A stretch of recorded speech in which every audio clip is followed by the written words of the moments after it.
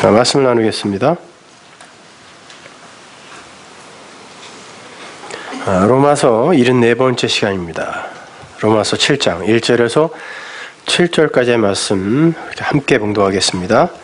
형제들아 내가 법 아는 자들에게 말하노니 너희는 율법이 사람의 살 동안만 그를 주관하는 줄 알지 못하느냐 남편 있는 여인이 그 남편 생전에는 법으로 그에게 매인바 되나 만일 그 남편이 죽으면 남편의 법에서 벗어났느니라. 그러므로 만일 그 남편 생전에 다른 남자에게 가면 음부라 이르되 남편이 죽으면 그 법에서 자유케 되나니 다른 남자에게 갈지라도 음부가 되지 아니하느니라. 그러므로 내 형제들아 너희도 그리스도의 몸으로 말미암아 율법에 대하여 죽임을 당하였으니 이는 다른 이 곧 죽은 자 가운데서 살아나신 이에게 가서 우리로 하나님을 위하여 열매를 맺히게 하려 함이니라. 우리가 육신에 있을 때에는 율법으로 말미암는 죄의 정욕이 우리 지체 중에 역사하여 우리로 사망을 위하여 열매를 맺게 하였더니 이제는 우리가 얽매였던 것에 대하여 죽었으므로 율법에서 벗어났으니 이러므로 우리가 영의 새로운 것으로 섬길 것이요 의문의 묵은 것으로 아니할지니라. 그런즉 우리가 무슨 말 하리요? 율법이 죄냐? 그럴 수 없느니라.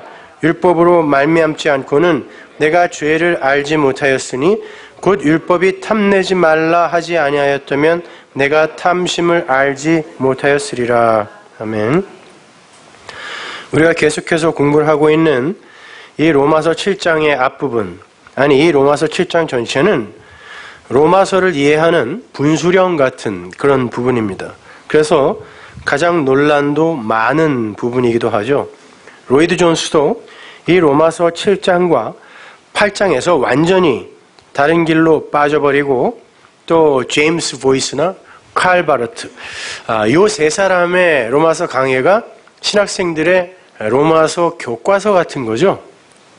그 중에서도 로이드 존스의 로마서 강해는 어, 뭐 어마어마하게 팔린 그런 책입니다. 그런데 어, 개혁주의 진영에서도 로이드 존스의 로마서 8장은 아, 다 걷어다가 불태워버리자, 불살라버리자라는 의견이 나올 정도로 어, 삐걱거리고 있어요. 그게 다 로마서 7장을 잘못 이해한 그러한 데서 기인한 것입니다. 이 7장은 바울이 구원받기 이전의 상태를 기록한 거고 8장은 구원받은 이유를 설명한 거라는 그런 아주 가난한 해석을 로이드 존스가 하고 있어요. 그리고 그 이후의 신학자들이 전부 그걸 따르고 있단 말이에요. 대부분. 아닙니다. 그러니까 그렇게 일관성이 없어지는 거예요. 7장도 구원받은 성도의 상태를 묘사한 거예요. 사도 바울은 로마서 6장까지 일관성 있게 인간들이 자기들의 의로 내어놓는 율법과 하나님이 준비하신 하나님의 의를 집요하게 대조하여 가르칩니다. 우리의 의는 하나님 앞에서 아무짝에도 쓸모없는 헛것이라는 거예요. 그래서 하나님이 눈이 대 그러나 이제는의 방법을 쓸 수밖에 없었다가 6장까지의 논지예요. 눈이 돼. 그러나 이제는 하나님이 의를 준비하실 수밖에 없었다. 로마 3장 21절 보세요. 그러나 이제는 개혁 성경에는 그러나라는 아주 중요한 접속사가 빠져 있어요. 율법 외에 하나님의 한 의가 나타났으니 율법과 선지자들에게 증거를 받은 것이라. 율법과 선지자가 증거한 진짜 내용이 이거다라는 거예요. 곧 예수 그리스도를 믿음으로 말미암아 율법을 행함으로가 아니라 예수 그리스도를 믿음으로 말미암아 모든 믿는 자에게 미치는 하나님의 의다 그래요. 그러니까 차별이 없다라는 거예요. 왜? 너희들이 갖고 있는 의로는 차별이 있을 수밖에 없어요. 잘하는 사람, 못하는 사람의 구별이 있을 수밖에 없다니까요. 그러나 이 의는 차별이 없어요. 왜? 선물이거든요. 거저 주는 거거든요. 그것이 인간 측에서 준비한 그 어떤 것으로도 하나님의 구원에 미칠 수 없다라는 바울의 논지예요. 6장까지의 논지란 말입니다. 그러한 바울의 설명을 들은 로마 교회 사람들이 율법을 어떻게 생각하겠어요? 이렇게 강력하게 반복하여 설명하는 바울의 이 이야기를 들은 로마 교회 사람들이 아 율법은 악한 거니까 지키지 말아야 되겠구나 이리로 가겠죠. 그럼 그게 뭐예요? 그게 죄예요, 여러분. 하나님의 율법을 법으로 받아서 지켜야 하는 계명의 수준에서 잘 지키면 그걸 죄라 그랬어요, 바울이 지금까지. 하나님의 그 아담의 생내적 두 마음, 그 에피두미아의 두 마음, 그 선과 악의 두 마음으로 율법을 판단하여 자기들의 마음으로 판단을 하여 인간들이 선한 것이라고 합의한 그 한쪽 것을 열심히 해 나가는 것을 죄라 그랬잖아요. 그 진리를 모르고 그 껍데기를 보고 그걸 열심히 행하는 걸 죄라 그랬잖아요. 똑같아요. 그것이 죄라는 말을 듣고 에이 그러면은 안 하면 되겠네 하고 안 하는 쪽을 선택하는 것도 죄란 말이에요. 그러면 이건 아무 가치도 없는 거야? 이러려고 하면 안 된다는 거예요. 그것도 죄라는 거예요. 그럼 어떻게 하라는 거예요? 하라는 거예요? 말라는 거예요? 하여튼 어떻게 하든 그 선악 판단의 주체는 인간이잖아요. 이거 해라는 거였어? 그래서 했는데 아니래. 그러면 아 그럼 이거 하라는 거야? 역시 선악 판단의 주체가 인간이라니까요. 그걸 죄라 그래요. 그럼 어떻게 하라는 거예요? 하나님은 인간들의 율법의 행위를 하던 안 하던 그런 거에 관심 없다는 거예요. 하나님은 그 율법을 통하여 죄가 무엇인지를 알기를 원하는 거지. 그것을 행하는가 행하지 않는가에는 아무 관심이 없단 말입니다. 생각해보세요. 여자들이 애 낳고 정결례식 행하지 않는 게 하나님과 무슨 상관이 있어요? 근데 그거 안 하면 부정하다 그래 버렸다니까요. 아니 힘들어서 애 낳아서 죽을 고생을 하면서 낳는데 부정한 사람까지 돼야 돼요.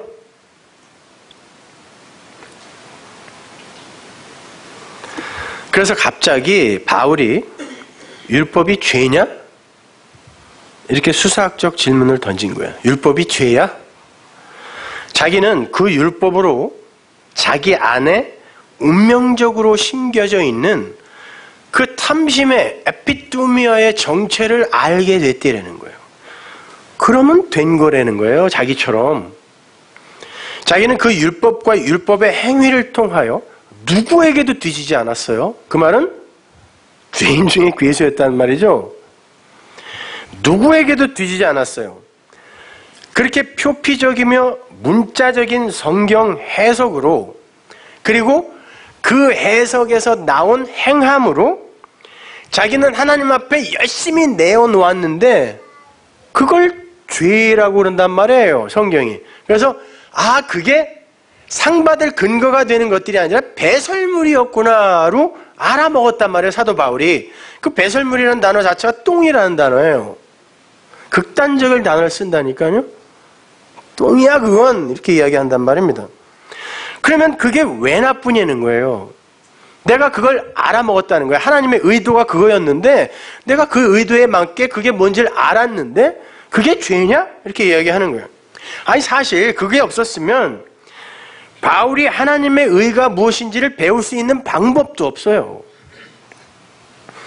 바울이 행한 그게 아닌 거, 그 율법의 행함이 아닌 거가 뭐예요? 은혜잖아요. 그게 십자가잖아요. 그러니까 그게 아니고 어떻게 십자가를 이따에 꽂아놓고 그걸 뭘로 설명하냐는 거야, 하나님이. 그거 아닌 거. 자, 이 죄만 가득한 땅에서 십자가를 설명하는데 가장 빠르고 효과적인 방법이 네가 한 거 그거 아닌 거. 네가 되고 싶어 하는 그거 아닌 거. 이거잖아요. 거기에 사용된 죄라는 게 정말 나쁘기만 한 거냔 말이에요. 그게 바울의 논지예요. 죄는 나쁜 거예요. 그러나 그게 하나님에게 들려서 우리의 선을 이루는데 쓰이면 그건 나쁜 거 아니라는 거예요. 그 자리에 머물면 이걸로 사망이에요. 이걸로 멸망이라니까요. 그러면서 하나님이 그러한 차서와 순서와 과정을 거쳐서 의를 설명하실 수밖에 없었던 이유를 남편과 아내의 예를 들어서 설명하는 게 로마서 7장 앞부분이란 말이에요. 오늘 우리가 공부하는 본문. 다시 한번 본문을 잘 보시면 1절에서 바울이 로마 교회 사람들을 형제라고 부르는 걸 볼 수 있죠. 그 1절 앞부분을 직역하면 이렇게 돼요. 율법을 안다고 하는 자들, 율법을 안다고 하는 그 무지한 형제들아. 율법을 안다고 하는 무지한 형제들아.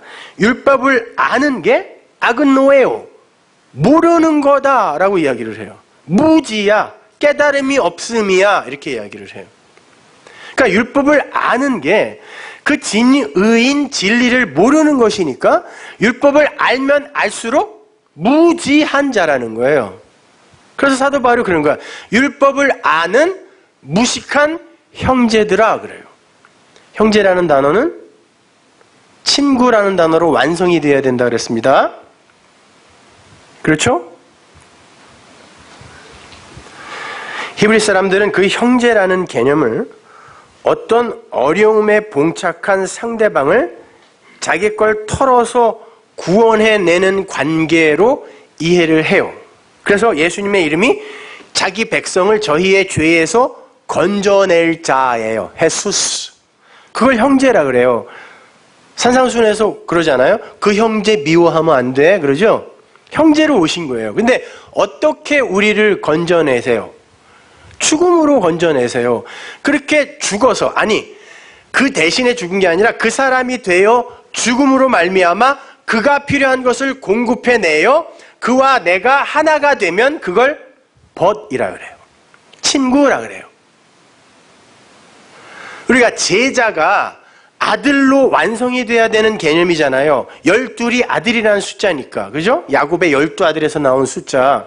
그래서 하나님의 아들들이 있는 하나님의 그 거룩한 성 새 예루살렘에는 전부 열둘, 열둘, 열둘이 새겨져 있는 거라 그랬습니다. 그러니까 우리는 제자가 되면 안 되는 거예요. 그 안에는 유다도 껴 있을 테니까요. 그리고 수많은 제자들이 예수님이 나 그 떡 주러 온 거 아니야. 그랬더니 도망가서 다시는 따르지 않았죠. 그 제자 되면 안 되는 거예요. 근데 제자 훈련이 웬 말입니까?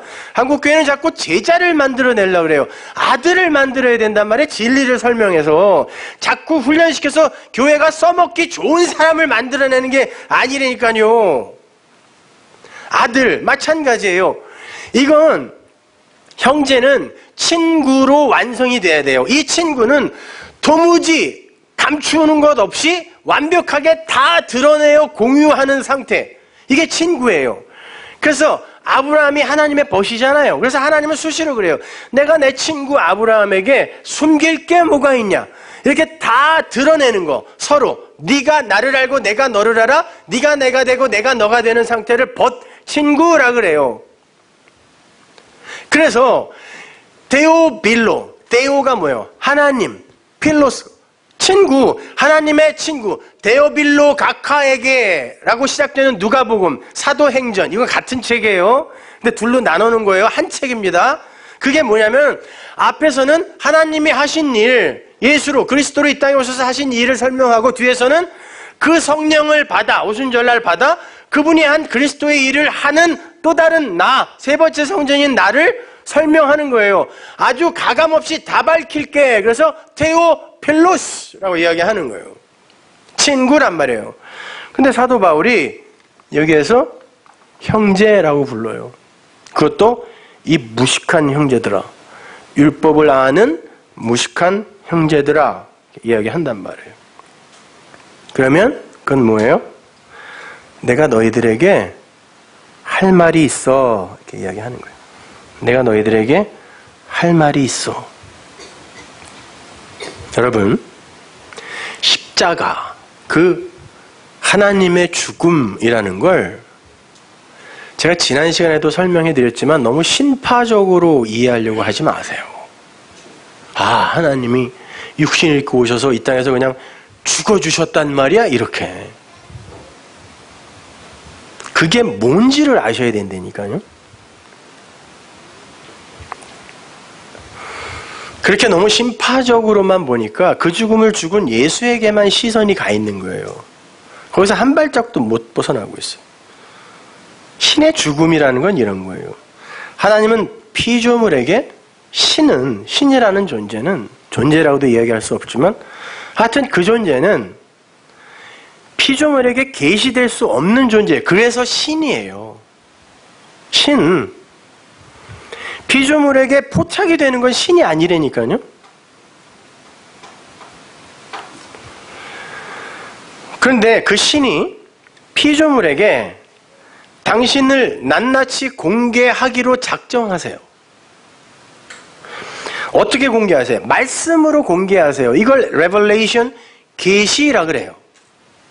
하늘이 도저히 그 하늘을 담을 수 없는 땅에게 하늘을 계시하는 거예요.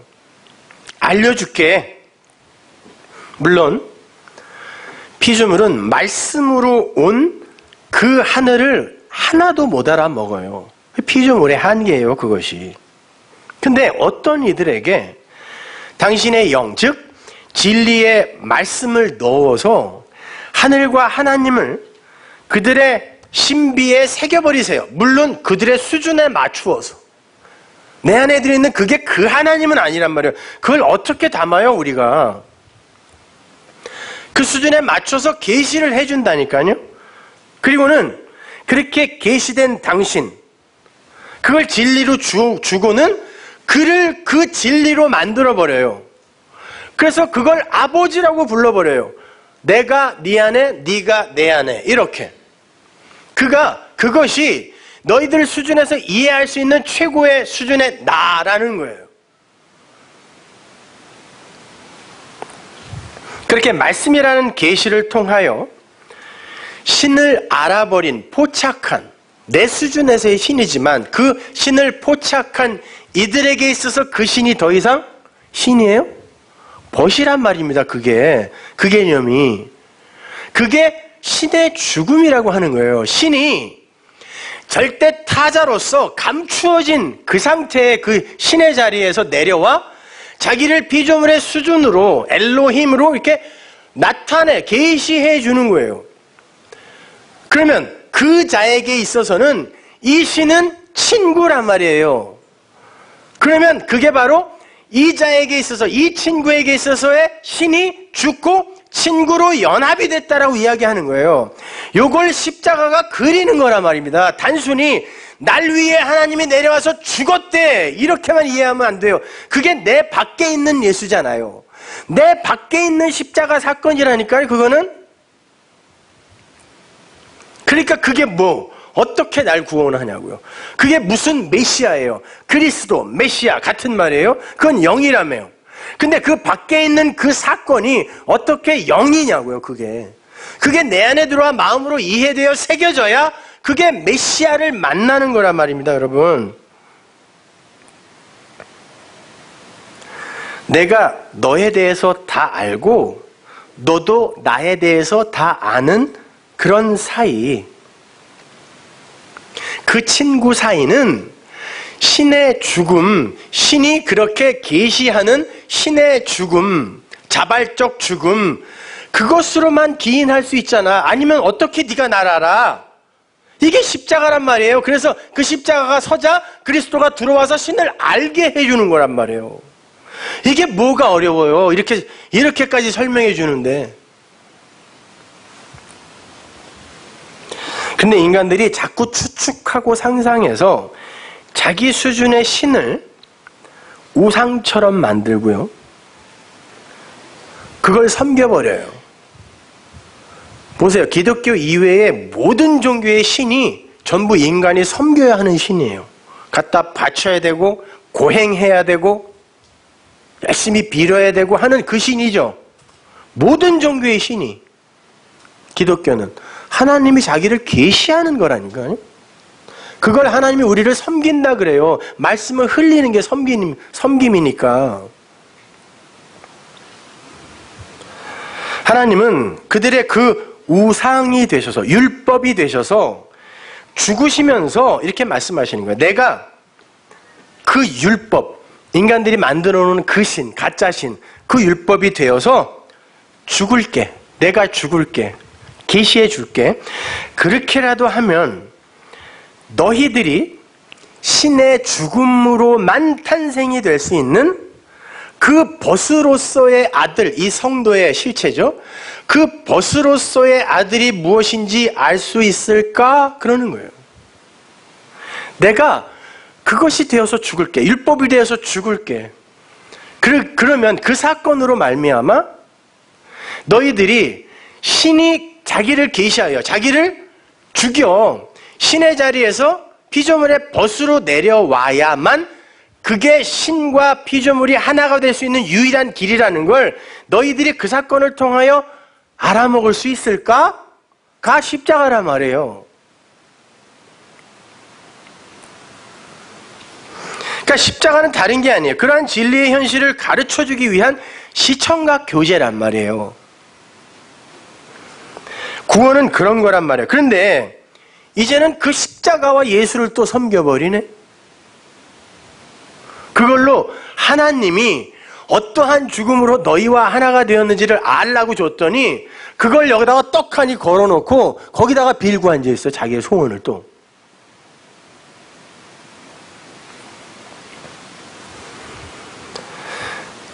아닙니다. 그렇게까지 하심으로 우리에게 당신의 사랑, 아가페를 설명하고 계신 그 하나님을 알아야 되는 거예요. 그래서 선지자들이 우리가 힘써 여호와를 알자, 여호와를 알자, 힘써 여호와를 알자 그러는 거예요. 여호와, 내 말을 네 말로 쓰자. 그렇게 말씀으로 우리에게 오신 그 하나님을 알아먹자는 거예요. 그러면 된다는 거예요. 구약 때에도 그거 알면 되는 거예요. 그게 십자가와 관계 있는 자라니까요. 그러면 그걸 만난 자가 메시아를 만난 거예요. 그게 그리스도가 담고 있는 내용이니까 진리가 담고 있는 내용이니까. 그래서 사도들이 예수는 그리스도다라고 목 놓아 외친 거예요. 그 예수가 그리스도인데 왜 죽였어가 아니라 그 예수는 그렇게 죽었어야 돼. 왜? 그는 그리스도니까. 그렇게 와야 우리가 사니까. 그게 예수는 그리스도다. 예요. 사도들이 이야기한. 그래요. 예수는 그리스도라니까요. 누가 아니래요? 십자가 이전에 예수도 그리스도라니까? 누가 아니래요. 그런데, 그럼 내가 이렇게 여쭤볼게요. 옛 성전, 그건 메시아가 될 수 있어요? 없어요? 만약에 그 옛 성전이 뭐예요? 호코스모스가 뭐예요? 성경이 뭡니까? 예수를 설명한 거라면서요. 율법과 선지자는 나에 대해서 기록한 거야 그랬잖아요. 그런데 그 호코스모스 성전으로 그리스도라는 그 진리를 알아먹었어요. 아, 희생제사는 이런 거고, 법궤는 그런 거고, 아, 물두멍은 그런 거였어. 그리고 휘장은 그런 거고 이게 둘로 찢어진 건 이런 거고 아 이렇게 그 진리 그리스도를 그 옛성전으로 알아먹었으면 그게 메시아라니까요. 그런데 못 알아먹게 돼 있단 말이에요. 그러면 그 구약 율법과 선지자들도 못 알아먹은 그게 나를 설명한 거다 그러면 이 예수를 알아먹어야 돼? 못 알아먹어야 돼요? 못 알아먹어야 돼요. 십자가 이전에는 왜? 인간들은 못 알아먹어야 그래야 거기서 한계가 폭로되고 예수가 죽어. 그러니까 신이 내려와 계시를 해야 너희와 하나가 될 수 있잖아라고 죽어야 그 계시가 그리스도로 내 안에 들어와 내 진리가 될 거 아니에요. 순전한 하나님의 열심으로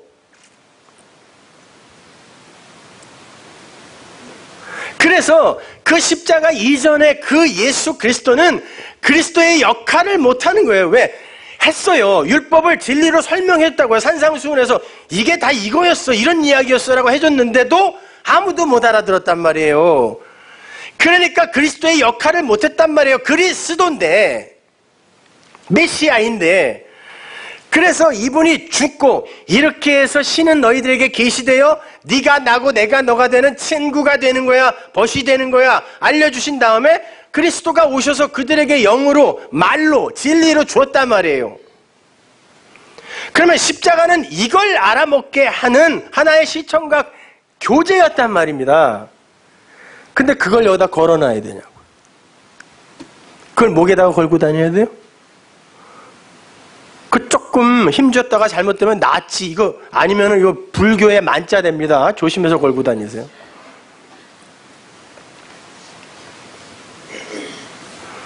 그게 원래 태양 신을 섬기던 자들의 표식이라 그랬잖아요. 그러니까 그것 자체가 중요한 게 아니라니까요. 드라큘라 나타났을 때 이렇게 해보세요. 손가락을 확 꺾어버릴걸? 그게 뭔지 걔는 알아요. 귀신들이 알잖아요. 왜 벌써 왔냐고. 차라리 이렇게 하든가. 기둥이니까, σταυρός. 언약. 그럼 좀 똑똑한 놈은 알아먹을 거 아니에요. 아니, 저놈이 언약을 안 해? 히스템이?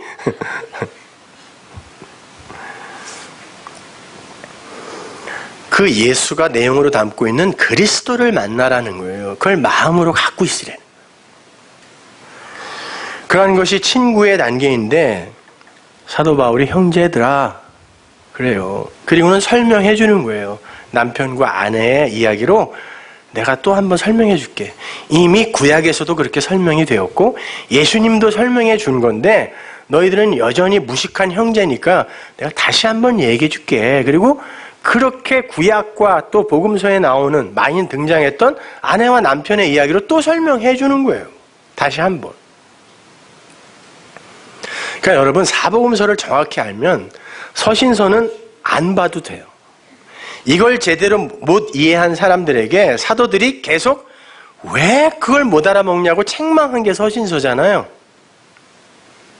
그러니까 이걸 제대로 알아먹으면 이거는 몰라도 되는 거예요. 근데 우리는 이 서신서에 목을 메고 여기서 행해진 명령을 지키려고 애를 쓰고 있다니까.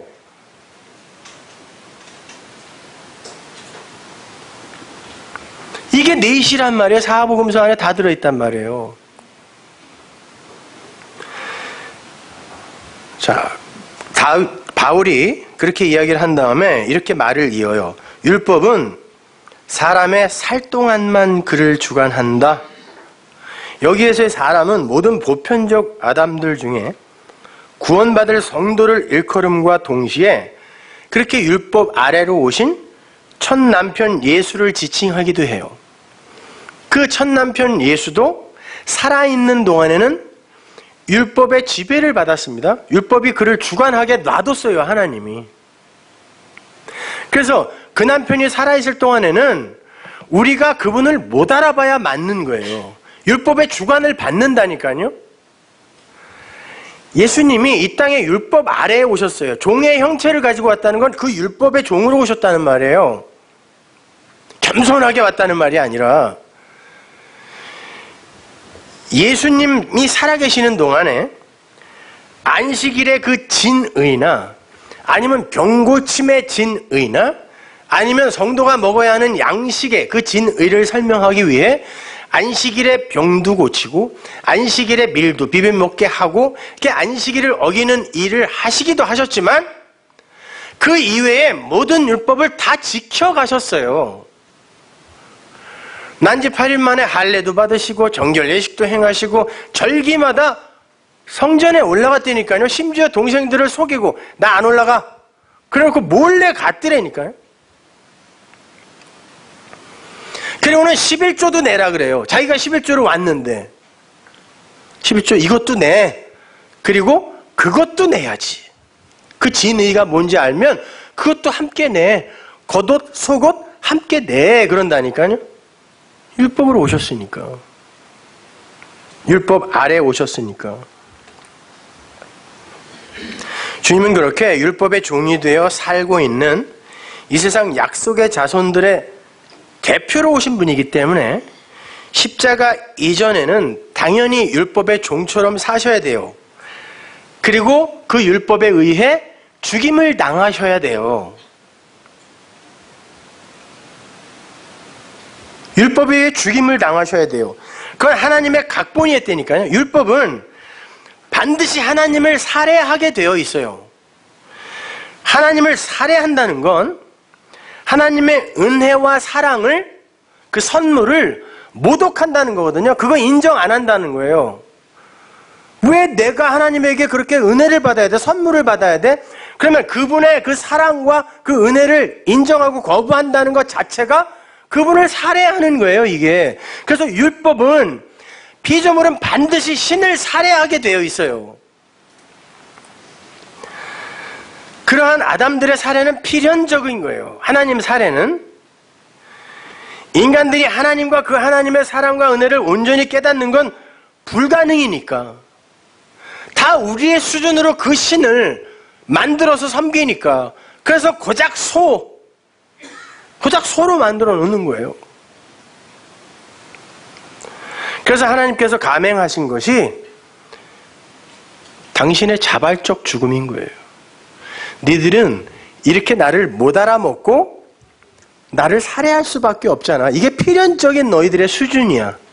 그러면 내가 나를 너희들에게 계시할 수 있는 방법은 신의 자발적 죽음, 자기를 계시하시는 것밖에 없잖아요. 그게 십자가라니까요. 십자가는 그래서 율법인 호코스모스의 세상이 하나님을 때려 죽인 것이기도 하지만 하나님이 자발적으로 자기를 계시하시는 죽음으로 몰아내시는 곳이기도 한 거예요. 그게 십자가란 말입니다. 그래서 중요한 거예요, 십자가가. 근데 그걸 섬기라고 준 거냐고.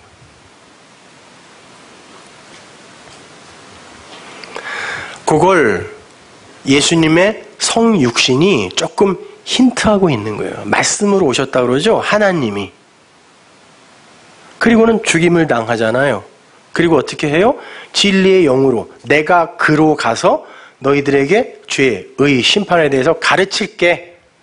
내가 한 말을, 십자가 이전에 내가 한 말을 그걸 가지고 또 다른 보혜사, 그리스도죠? 그가 가서 너희들을 가르치리라 내가 한 말을 생각나게 하리라 그러죠? 같은 말이라니까요? 그리스도예요. 메시아예요. 근데 못 알아먹고 알아먹고 그 차이일 뿐이라고요.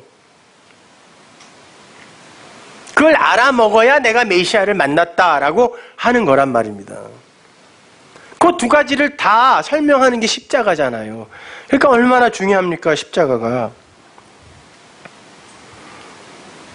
그렇게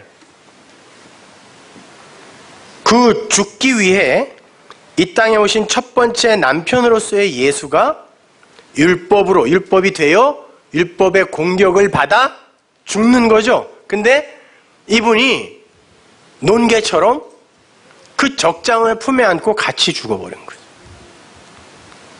그 남편이 죽을 때 그 율법이 함께 죽어버렸다니까요. 그래서 우리는 free, 다른 남편에게 가도 free다. 이 이야기가 로마서 7장의 이야기예요. 이제 그리스도에게 갈 수 있는 자가 된 거예요. 왜? 그분의 희생으로 그분의 죽음으로, 그분의 자기 계시로.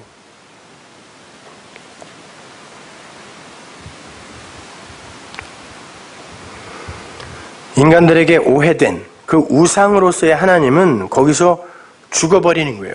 세상의 그 첫째, 그걸 뭐라 그랬어요? 세상 임금이라고 번역했죠? 그 세상 임금, 세상의 호코스모스의 그 율법을 다 품어 안고 율법의 대표가 되어 세상의 첫째 세상 임금이 되어 죽는 거예요.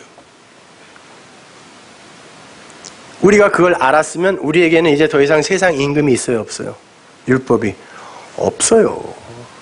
그래서 여러분이 이제 무슨 일을 한다고 해도 자유라고 이야기하는 거예요. 그걸 복음이라 그래요, 성경이. 세상 임금이 없어요, 여러분에게는. 가끔 나타나는 그런 뿔 달린 그런 거? 3년 전에 죽으신 작은 엄마 이런 거? 그 헛거.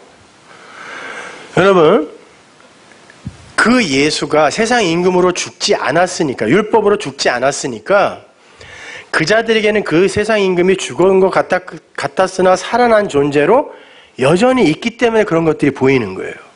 헛것들이. 죽었대니까요. 그게 여러분 마음에 확실하면 그게 왜 나타나냐고. 나타나도 아무것도 아니에요, 그거는. 밥 몇 끼 잘 먹으면 돼요. 곰탕 한 두 그릇 먹고.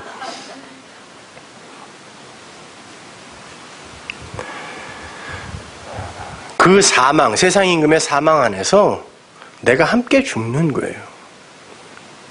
그런데 아니 종이 내가 살아있을 동안에는 아, 주인이 내가 살아있을 동안에는 나를 팍 때리면서 부려먹을 용도가 있잖아요 나한테. 근데 죽은 자를 어디를 때리며 어디다 써먹냐고요. 이제 관계 없음이 되는 거예요. 그래서 마귀가 우리를 만지지도 못한다고 하는 거예요. 관계가 없으니까.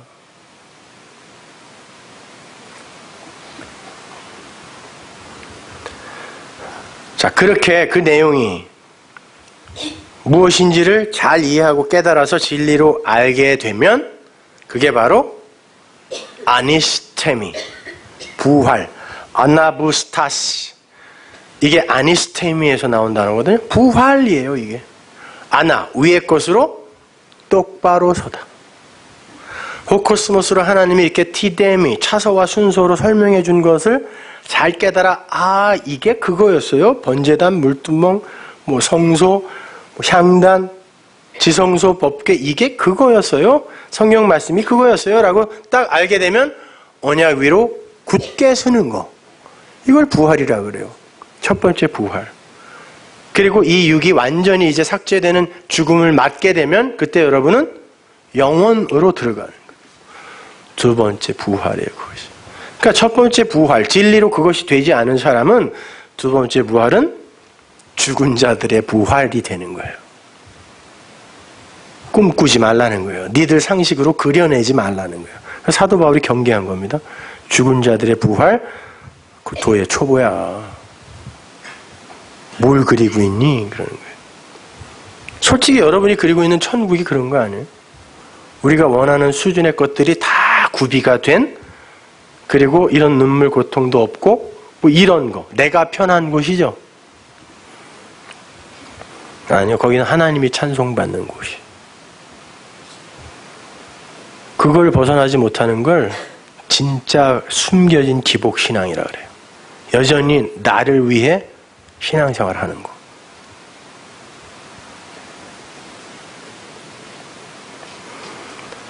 그러니까 우리는 예수를 믿어서 구원을 받으려 하면 안 되는 거고 그 예수와 십자가가 담고 있는 하나님의 사랑과 은혜와 능력을 깨달아 나의 처음 자리로 내려가 구원받는 거예요. 그 예수가 날 위해 죽었대가 아니고 그게 예수 믿는 거죠. 그게 아니라 그리스도 예수를 믿어야 되는 거라니까요. 아, 그분이 그렇게 진리를 설명하시고 내 안에 들어와서 그러니까 너희는 아니고 하나님이 전부야를 설명해 준 거. 이게 그리스도 예수를 믿는 거예요. 그래서 성경은 주 예수를 믿으라 그러지 예수 믿어라고 안 그래요. 항상 주는 그리스도시요라고 설명해 주잖아요. 그리스도 예수를 믿어라 그러지 예수 믿어 안 그랬다니까요?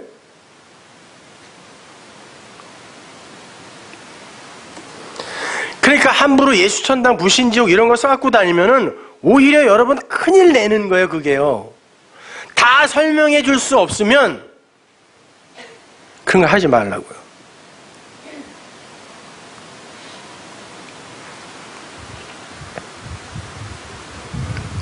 그리스도로 오신 그 예수의 모양, 그것으로 내가 구원에 이르게 될 거다라는 걸 그 구원의 그 차서, 그 차서를 이제 그게 πίστις라 그랬죠? 그걸 내 믿음, πιστός로 갖게 될 때 우리가 아들이 되는 거예요. 그래서 본문 4절이 우리의 구원의 방법을 διά ὁ σῶμα ὁ Χριστός라고 이야기를 하는 거죠. 우리가 법에서 해방이 되는 방법은 ὁ σῶμα ὁ Χριστός 그리스도의 몸을 διά by라는 말이거든요. 통하여 말미암아 되는 거야 라는 것이죠. 그리스도의 영. 그래서 그러니까 그리스도는 영이죠. 그래서 반드시 그릇이 필요해요. 영은 담을 그릇이 없으면 의미가 없어요. 보이지도 않고 만지지도 않고 만져지지도 않고 들리지도 않는 거니까. 그래서 반드시 그릇이 필요해요. 그 그리스도라는 진리의 영을 담은 그릇이 예수였잖아요. 그래서 내가 말씀이야, 내가 하나님이야 라고 이야기했잖아요. 그 예수가 육을 삭제당하고 진리로 살아나신 그 십자가와 부활에 의해서 우리 안으로 진리의 영, 그 푸니우마가 들어왔단 말이에요. 불의 혀처럼 말로 혀, 텅 들어왔어요. 글로사로 들어왔단 말이에요. 그 사건 자체가 우리의 육을 부인하는 거죠. 이 방법밖에 없다는 거예요. 그건 우리의 육체로는 하나님 앞에 내놓을 게 아무것도 없다는 거예요. 그리고 니네들의 그 육신의 기능으로는 절대 그 하나님의 계시를 알아먹을 수 없기 때문에 내가 영으로 들어간다라는 거예요. 니들을 그릇 삼아. 그래서 새 부대, 뭐 질 그릇, 뭐 토기장의 그릇 이게 다 같은 말이에요. 주머니, 그릇, 부대 이게 우리 이야기 하는 거예요. 이거 이거 여기다가 그냥 그냥 새거 담아버리면 이거 터져버려 이거 터져버린다 그럴 때 이 그릇 깨져버린다 이거 이럴 때 그렇게 우리가 호소마 크리스토스의 그 그릇 육체가 되어서 그분이 내 안에 들어와서 그걸 설명하실 수밖에 없다라는 건 우리의 육이 거기서 삭제당하는 거예요. 그 자체가 뭐예요? 그게 내 십자가라니까요. 아, 성령이 내 안에 그렇게 들어오실 수밖에 없었던 건 나는 아니다라는 선언이니까 내가 죽은 거예요. 내 육이 거기서. 그때 그 십자가가 내 십자가가 되는 거란 말입니다. 풍올 것 같아. 아, 뒷골이 너무 땡겨가지고. 이해하시는 거죠?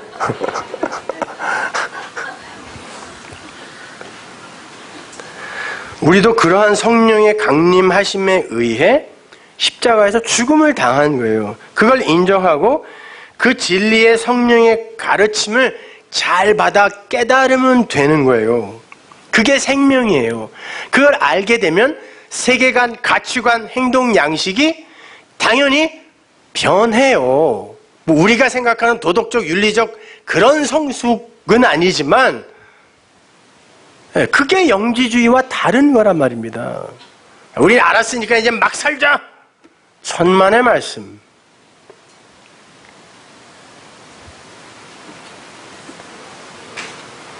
그 그리스도가 나라는 그리스도의 몸을 만들어내는 거예요. 내 안에 진리가 담겨 있잖아요. 그리고 이건 아무것도 아니다라는 걸 이미 우리는 인정했고 하나님도 선언하셨고 내 안에 성령이 들어오는 게 이미 난 죽은 거니까. 그러니까 질그릇 안에 보배를 담은 나 호소마 호 크리스토스 그렇게 되면 이게 뭘 하던 안 하던 하나님이 무슨 상관이겠어 하고 율법에 대해 죽는다는 거예요. 그래서 사도 바울이 오늘 본문에서 호소마 호 크리스토스가 너희들이 율법에 대하여 죽는 유일한 방법이야 라고 제시해 주는 거예요. 이걸 왜 굳이 구원받기 이전의 상태라고 설명을 해야 되냐고요. 여전히 성화론에 묶여 있기 때문에.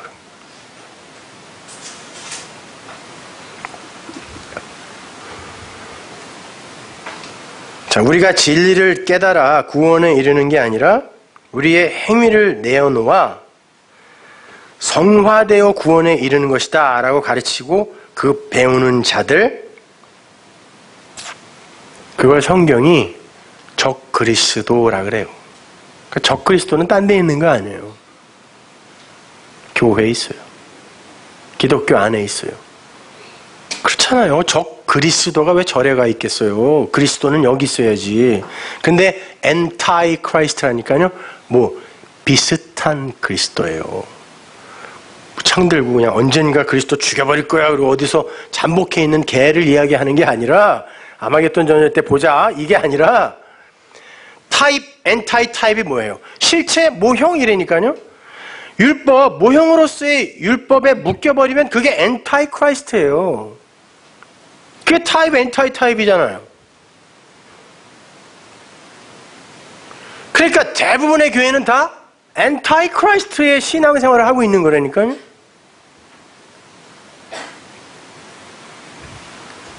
그런데 이 세상 사람들은, 아담들은 그게 훨씬 좋아요.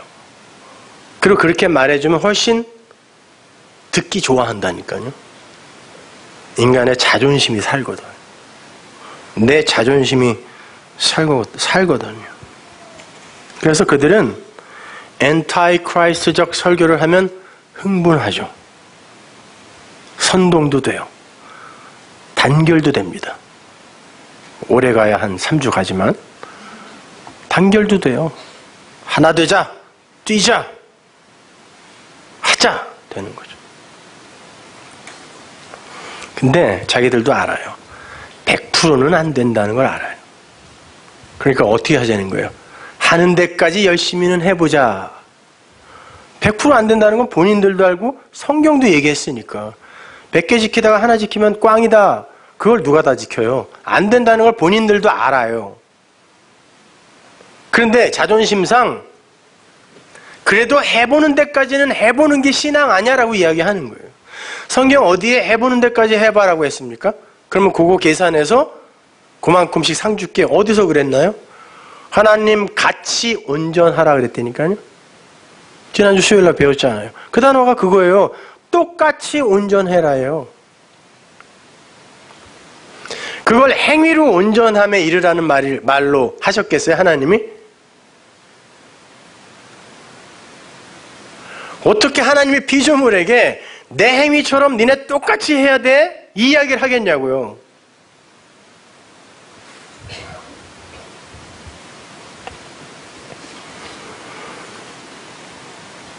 그건 올무래니까요. 인간들이 스스로 거는 올무라고요.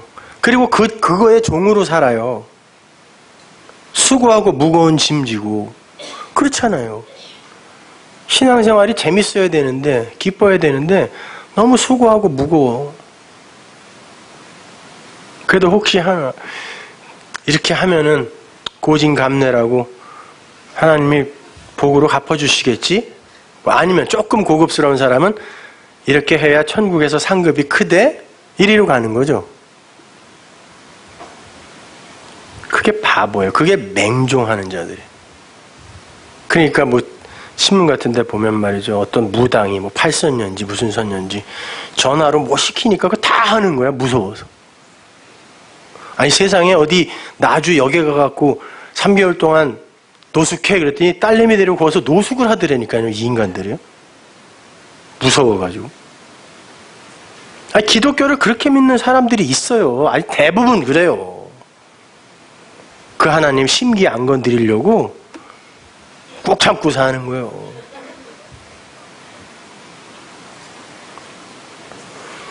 그러니까 진리가 안 됐으면 그냥 율법이라도 최선을 다해 지키세요. 아주 완벽하게. 제사도 열심히 지내고 정결 예식도 행하고. 근데 이것도 안 하고 이것도 안 하고 아, 그 사람들도 그래요. 율법은, 구약의 율법은 이미 다 하나님이 완성하셨죠. 그럼 자기들이 갇혀 있는 그건 뭐냐고요. 모양만 조금 다르지? 그거 아니에요, 그게? 아니, 그러려면 제사를 지내라는 거예요, 내 말은. 화끈하게. 근데 왜 그것도 안 하냐고요? 인간들은요, 너무 쉬운 걸 주면 그걸 가치 없다 여겨버려요. 그리고 그것 자체를 수치스럽게 여깁니다. 도대체 날 뭘로 보고 그런 가치 없는 걸 던져주냐는 거예요. 선악 체계 속의 아담들은 하나님처럼 되어버린 자기들의 수준에 맞게 어려운 임무가 주어지면 희열을 느껴요. 다는 못하는데 어차피 자기들도 알아요. 다는 못하지만 나를 이렇게 여겨준단 말이야? 하고 희열을 느껴요. 그래서 부흥하는 교회 보면요. 그렇게 사람들을 도에 좀 진하게 확 돌려버리면 사람 늘어나요. 그때에 사람들이 희열을 느끼기 때문에 그래요. 공통점이에요, 그거는요. 여기 오면 멍하니, 뭐 할 일이 없어. 뭐 해야 돼. 그러니까, 가도 되고, 안 가도 되고, 뭐 이런 걸로 알아.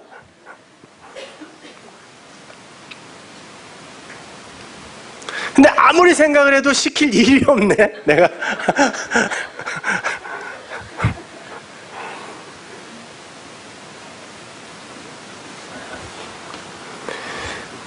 율법과 은혜를 두고 하나를 선택하라 그러면 인간들은 반드시 율법을 택해요. 100%.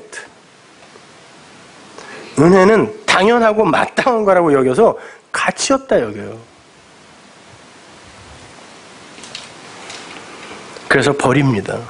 사실은 그 은혜가 당연하고 마땅한, 가치 없어 보이지만 당연하고 마땅한 진리고, 율법이 인간들의 탐심이 만들어낸 수고하고 무거운 짐이에요.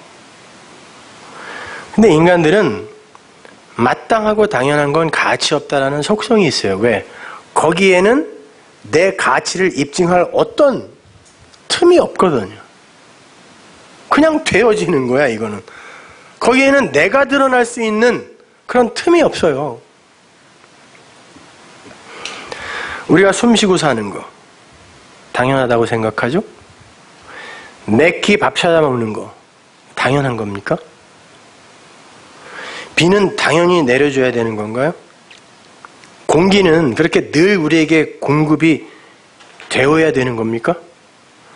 땅과 바다는 항상 거기에 경계를 정하고 있어야 되나요?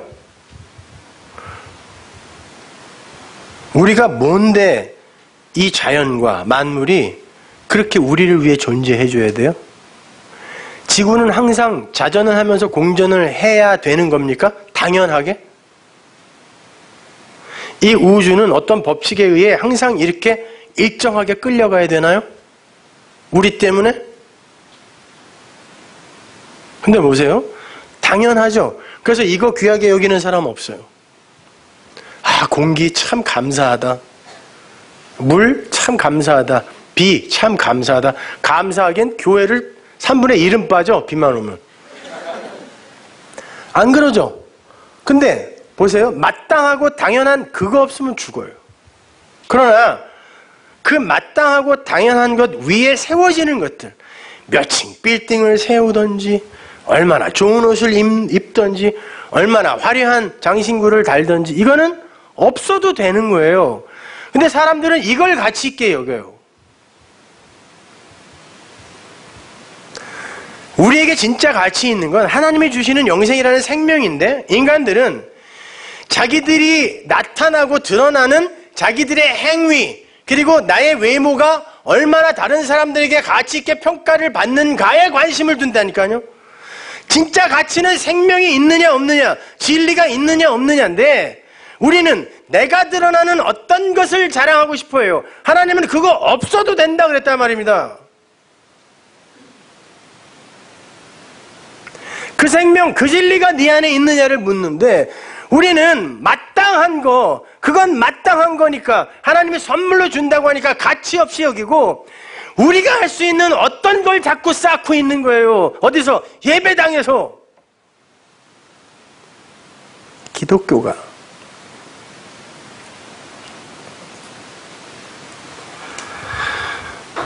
하늘에 비행기 타고 올라가면 한 동, 한 구 하나를 엄지손가락 안에 다 넣을 수 있어요.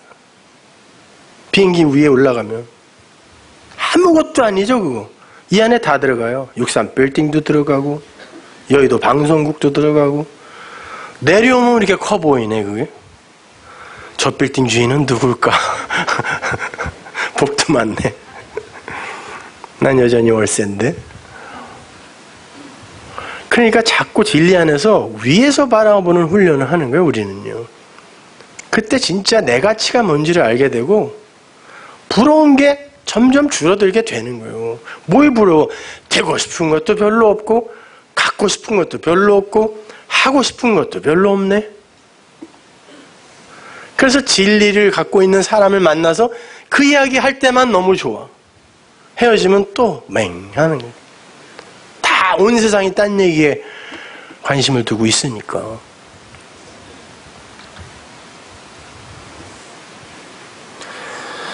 인간들이 열심히 노력해서 살기 좋은 사회를 만들고 건강하고 건전한 문화를, 문화를 구축해서 너도 나도 행복한 그런 사회 국가를 만들어 놓는다고 할지라도 생명 없으면 헛겁니다. 호코스모스가 불탈 때, 모형이 불탈 때 다 불타는 거예요. 그 당연하고 마땅한 거 그거 없으면 다 헛거래니까. 생명 없는데 그게 뭐냐고요. 죽은 시치한테 아무리 좋은 옷 입혀놔봐요. 툭탄카메나 왕처럼 그 죽은 시체 미이라에다가 아무리 무거운 금관 씌워놔봐야 그게 무슨 가치가 있냐고.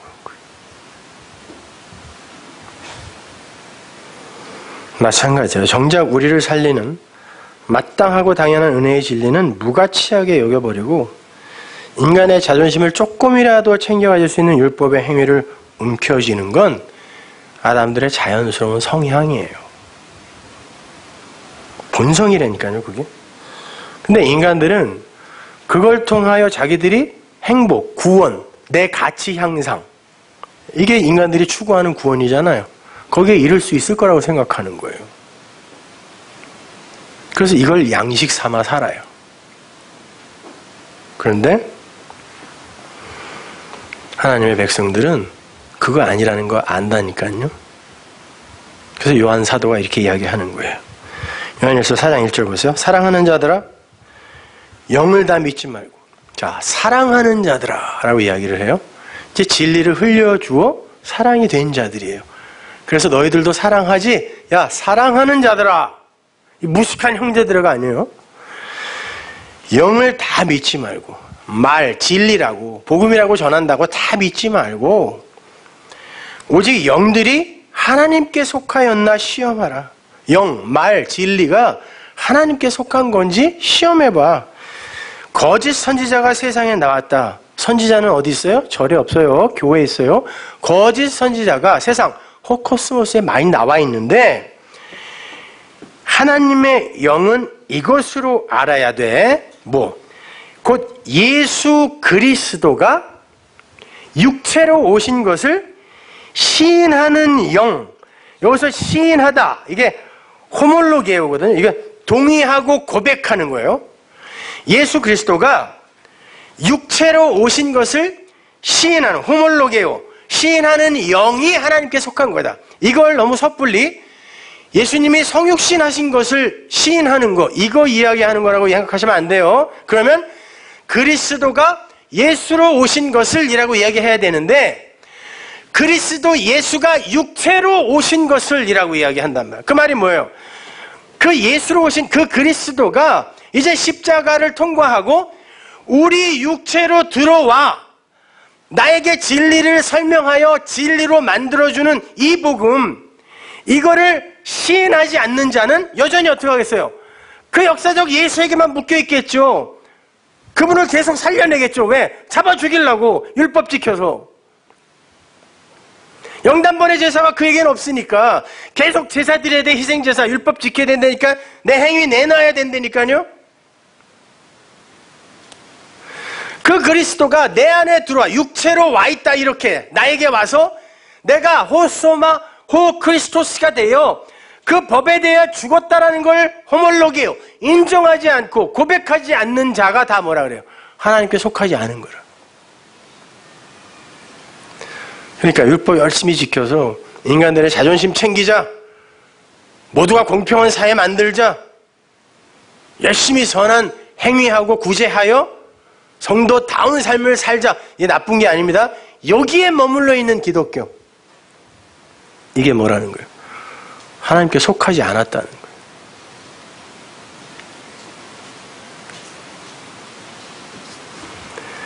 그러면 3절 보세요. 예수를 시인하지 아니하는 영마다 여기서도 그리스도 예수예요. 개혁 성경이 그리스도를 빼먹었죠? 그리스도 예수를 시인하는 ὁμολογία와 똑같아요. 그리스도 예수. 그 예수가 그리스도였다라는 걸 인정하지 않는 영마다 하나님께 속한 게 아니니 이것이 곧 antichrist 적그리스도의 영 말이야. 적그리스도가 전하는 복음이라는 거야. 라고 이야기하는 거예요. 오리라 한 말을 들었지 이미 와 있어. 초대교회 때도 율법주의가 얼마나 횡행했습니까? 사도들까지도 거기에서 못 벗어났잖아요. 와 있어. 4절 자녀들아 너희는 하나님께 속하였고 또 저희를 이기었나니 이는 너희 안에 계신 이가 그리스도가 세상 호코스모스 그 성전 그리고 성전으로 오신 예수 그거보다 크다는 거예요. 왜? 이거는 너희들에게 설명을 못 해줬잖아. 아니 해줬는데 너희들이 못 알아먹었잖아. 이분은 들어와서 너희들의 눈과 귀를 열어버린다니까? 그래서 이긴 거야. 저희는 세상에 속한 거로 호코스모스에 속하여 호코스모스로 온 그 예수에 속해버리면 세상에 속한 말을 하게 되고 세상은 저희 말을 들어요. 그런데 우리는 하나님께 속하였으니 하나님을 아는 자는 우리의 말을 듣고 하나님께 속하지 아니한 자는 우리의 말을 안 들어요. 아무리 이렇게 이야기를 해줘도 저 무슨 귀신 씨나라 까먹는 소리 하냐. 지가 2000년 기독교 역사를 뒤집어 엎는단 말이요? 아니요, 뒤집어 엎는 게 아니라 그 사람들이 있었다니까요. 제가 요즘 수메르, 아람, 뭐 라틴어 공부하면서 보면 그들이 있었는데 안 유명한 거예요. 대다수는 항상 엉터리 기독교로 갔고 안 유명한 그들이 그걸 명맥을 이어왔다니까요. 아니잖아. 그거 기독교 아니잖아. 근데 아무도 안 들어. 또 들어가서 또 하나님 알아먹는 말로 좀 주시지. 또 이게 아무도 안 들어. 근데 내려왔다고요, 이렇게. 지금까지. 우리의 말을 듣지 아니하나니 진리의 영과 진리의 말, 미혹의 영, 미혹의 말을 이로써 안다. 이걸 영분별이라 그래요. 그럼 영분별은 뭘 분별하는 거예요?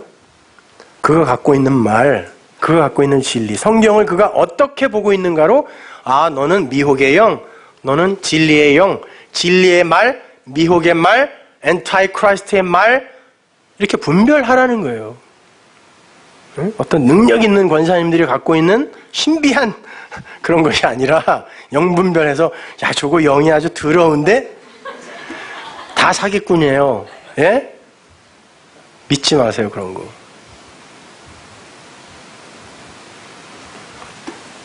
영이 뭔지도 모르면서 영이 혼탁해, 영이 어두워 이러고 있다니까.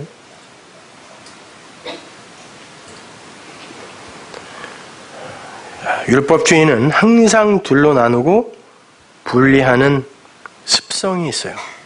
이렇게 자기들이 선과 악의 주체가 되어서 모든 것을 나누고 분리하여 판단을 해버리면 그게 곧 하나님과 분리가 되는 거예요.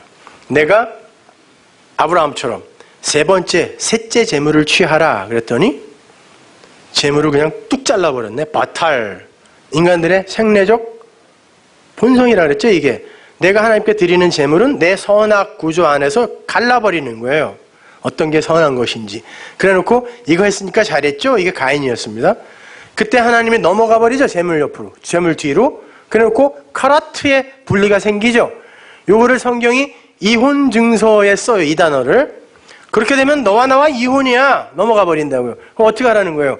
그걸 깨달아. 아, 그거군요. 이렇게 나누면 안 되는 거군요. 선악과 이렇게 먹어서 우리가 이렇게 선하게 주체로 살면 안 되는 거군요. 깨달으면 어떻게 된다는 거예요? 네가 넘어오는 거예요. 그래서 그런 거죠. 하늘의 열, 계명, 열로, 하늘의 열로 땅의 열둘 아들로 완성이 되면 그러면 육식갑자가 열과 열둘로 섞여버리면 환갑이 되어 여기를 넘어가는 거예요. 그래서 이 환갑상은 제사상이라 그랬잖아요. 나는 죽었네요. 그래서 그 나나토스의 죽음이 뭔지를 설명해 줄 수 있는 자가 되는 걸 환갑이라 그래요. 열로 열둘 아들로 완성된 거. 그래서 제사장의 제사도 마찬가지죠. 제사장이 제사를 어디서 드렸겠어요? 회중이 여기 있으면 성소가 여기 있고 여기서 드렸다니까요. 이렇게. 제사장은 마땅히 이게 뭔지를 알아 이 성전이 이거야를 가르쳐야 되는 거예요. 그래서 이렇게 예배를 하는 거예요, 지금요. 이게 맞는 거라니까요. 여기서 같이 여길 보고 부르짖으면 안 되는 거란 말이에요. 그게 구약의 옛 성전의 제사란 말입니다. 넘어오는 거예요. 여러분도 넘어오는 거예요. 그래서 선포해 주는 거예요. 흘려 주는 거예요. 이걸 아가페의 사랑이라고 하는 거예요. 그렇게 아 이렇게 자르면 안 되는 거고 이렇게 자른다는 게 뭐예요? 내가 선하게 주체니까 내가 하나님처럼 된다는 거 아닙니까? 그건 안 된다는 거예요. 네가 뭔 하나님이라는 거예요. 네가 준 걸 내가 받아야 돼? 그럼 어떻게 해야 돼요? 아니 너하고 나하고는 달라. 난 하나님 너는 피조물이잖아. 그걸 뭐라 그래요? 삼강오륜에서 부부유별이라고 하는 거예요. 원래 그런 것들이 다 부자유친이나 군신유이나 다 이게 하나님과 우리의 이야기를 했던 거였어요. 옛날에는. 근데 이거를 사람들이 자기들에게 끌어다가 도덕과 윤리를 써먹는 거지. 부부는 유별한데 그러면 어떻게 해야 돼요? 하나님이 그 신랑이 죽어 옆구리가 뚫려 그 아내가 되어 죽는 거예요. 그래 놓고 그 아내를 아내 안으로 자기가 들어가요. 들어가서 이렇게 하나가 돼야 되는 거예요. 그래서 그걸 안 자는 아 하나님 그렇군요. 저는 아니네요. 제가 무슨 하나님입니까? 그리고 점점 점점 죽는 거예요. 아들이 되어가는 거예요. 여자에서 하나님은 그래 그래 맞아 그게 내가 너에게 원하는 거야 하고 나에게로 내려오는 거야. 이 성전을 사이에 두고 성전에서 예수라는 성전에서 그리스도로 이렇게 하나가 되는 거란 말입니다. 그래서 우리는 신부로 오지만 부부 유별로 오지만 우리가 아들이 되고 하나님이 우리 쪽으로 내려와 아들로 벗으로 연합되는 게 구원이란 말입니다. 그래서 이 세상에서도 여자는 점점 점점 나이가 들수록 남성화되고 에? 예? 옛날에 꼼짝 못했던 와이프가 지금 아주 그냥 눈을 도끼 눈을 뜨면서 막 당연한 거예요. 앞으로 점점 그렇게 된다니까요. 여자는 아들이 되어 하나님에게 가는 거고 하나님이 우리의 자리로 내려와 그래서 남자들이 이렇게 유약해지는 거예요. 눈치 보고 아침에 눈만 마주쳐도 딴 데 보고 밥 달라는 말을 하지도 못하지 그냥. 이게 맞는 거예요. 그래서 사업할 때도 50 넘으면 여자가 나가서 일하고 남자가 집에서 살림하는 게 나아요. 그렇게 된다니까요, 진짜로. 진리를 잘 알면요, 세상에서 그걸 세상적으로 이용해 먹으면 돈도 벌 수 있어요. 그렇게 안 하는 것 뿐이지. 관심이 없으니까 그런 거예요. 뭘 굳이 그렇게까지 해, 그거를, 뭐, 이렇게 되는 거니까. 당연한 거예요, 그거는. 우리가 그렇게 아들이 되는 거라니까요. 그 하나님의 죽음, 하나님의 은혜로 말미암아.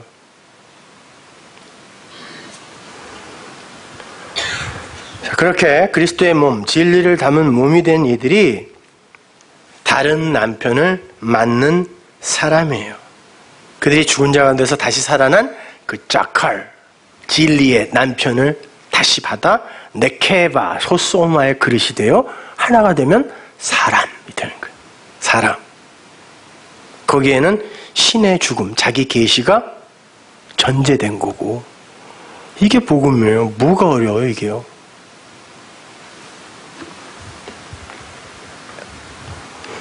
내 밖에 예수와 나는 연합이 될 수가 없어요. 그렇게 역사 속에 세워둔 십자가는 내 것이 될 수 없다니까요.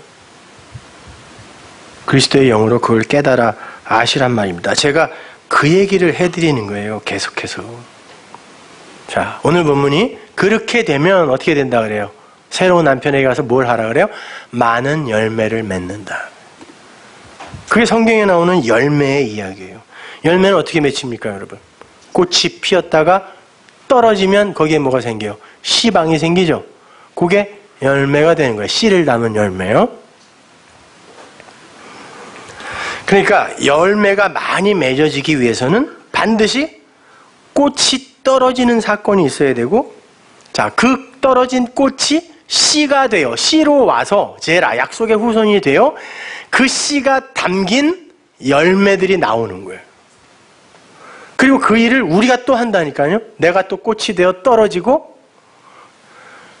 그 씨를 심고 진리로 심고 그 이들이 또 열매를 열매가 되어 열매를 맺는 자가 되는 거예요. 열매가 된다니까요. 그걸 베드로가 이렇게 이야기해요. 저희는 너희는 저를 죽은 자 가운데서 살리시고 영광을 주신 하나님을 그리스도로 말미암는 말미암아 믿는 자니 너희는 성도는 저를 죽은 자 가운데서 살리시고 새 남편이에요. 영광을 주신 하나님을 영광을 자기를 자기의 것을 계시로 나타내신 독사 그 하나님을 그리스도로 말미암아 믿는 자니 디아예요. 그 그리스도가 그거 가르쳐 줬잖아. 그게 성도야. 믿는 자니 너희 믿음과 소망이 하나님께 있게 하셨느니라. 너희가 진리를 순종함으로 그 진리를 너희들이 이제 받아들였어. 그게 맞다라고 인정했어. 진리를 순종함으로 너희 영혼을 깨끗이 하여 이게 푸뉴마예요. 말이에요. 영.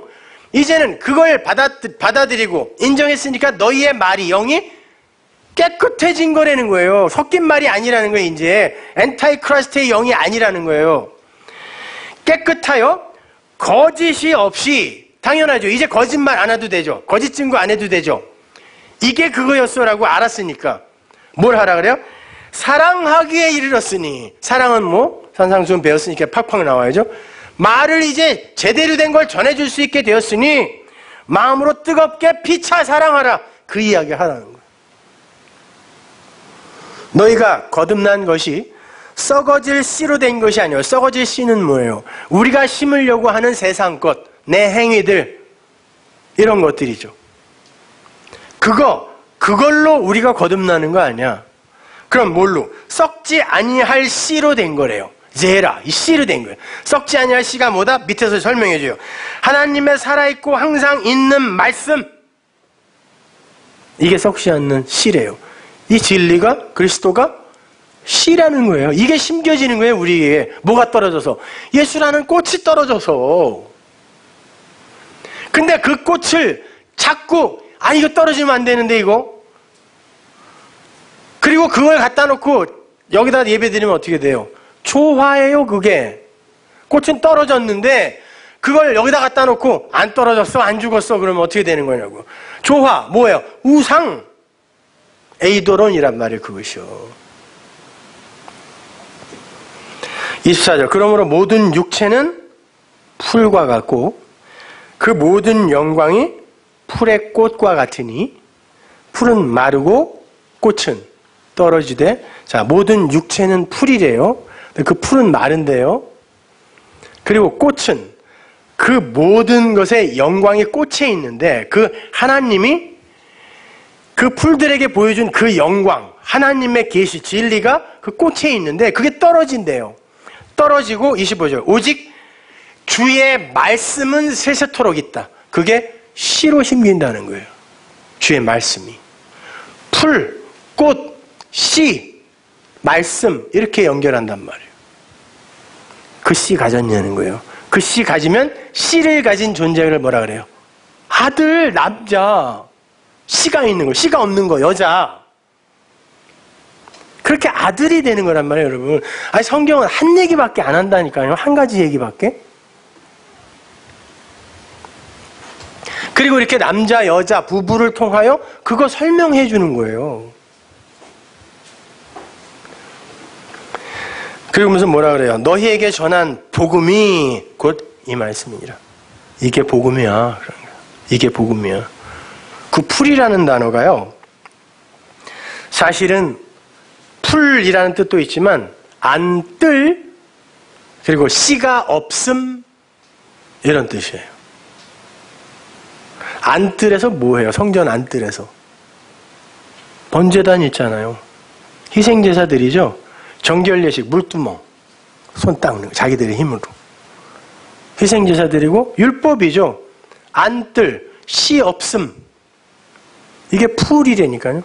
풀 율법 행위 풀은 어떻게 돼요? 말라요. 죽어요. 이건 죽는 놔두면 죽어요. 어떻게 해야 돼요? 꽃을 심으면 돼요. 어디에다가 그 풀에다가 꽃을 붙여버려. 어떤 능력자가 어차피 씨가 없기 때문에 씨를 심으려면 꽃을 먼저 심어야 된다니까요. 붙여야 된다니까요. 그 씨로, 그 꽃으로 온 분이 누구예요?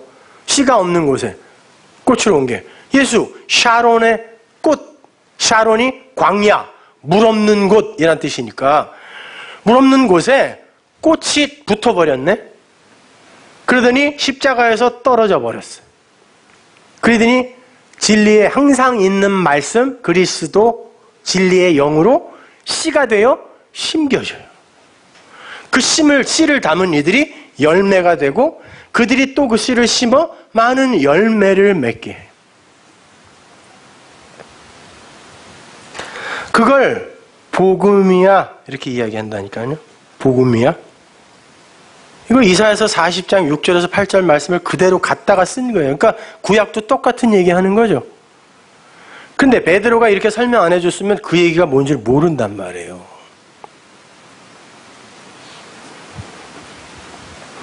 그 χόρτος, 풀, 풀에 불과한 우리, 거기에 예수라는 샤론의 꽃이 붙어서 그가 자기를 계시하고 떨어짐으로 하나님을 계시하고 말씀으로 계시하고 떨어짐으로 말미암아 우리 안에 그리스도 씨가 심긴 거예요. 그 씨가 있는가를 묻는 거예요. 예수 믿는가 안 믿는가 이거는 여러분도 모르고 저도 몰라요. 뭐 어떻게 믿는 게 믿는 거예요. 그리고 난 믿어요 라고 하면 그걸 어떻게 내가 믿어줘야 되냐고요. 그러니까 그런 말 하지 말라는 거예요. 난 예수 믿어요? 뭘 어떻게 믿는데요? 이 내용을 그 진리로 갖고 있냐? 그 말입니다, 여러분. 그러니까 예수라는 꽃은 반드시 떨어져야 되는 거예요. 그 씨가 내 속에 심겨져야 되는 것입니다. 그러한 첫 남편의 죽음과 새 남편의 도래를 예수님께서도 이런 비유로 말씀해 주셨습니다. 마태복음 9장 14절 보세요. 그때 요한의 제자들이 예수께 나와 가로되 우리와 바리새인들은 금식하는데 어찌하여 당신의 제자들은 금식하지 아니하나이까? 예수께서 저희에게 이르시되 혼인집 손님들이 이거 아들들이에요. 휘오스. 아들들이 신랑과 함께 있을 동안에 슬퍼할 수 있느뇨?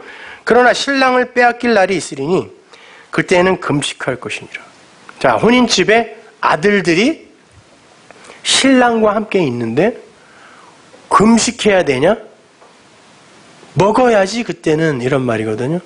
이 이야기가 우리가 수요일 날 공부한 세리 마태, 레위를 부르시고 예수님이 그 안에서 레위와 세리들과 함께 식사를 하실 때 많은 바리새인들이 거기 있었어요. 그리고 왜 죄인들과 밥 먹어? 그랬단 말이에요.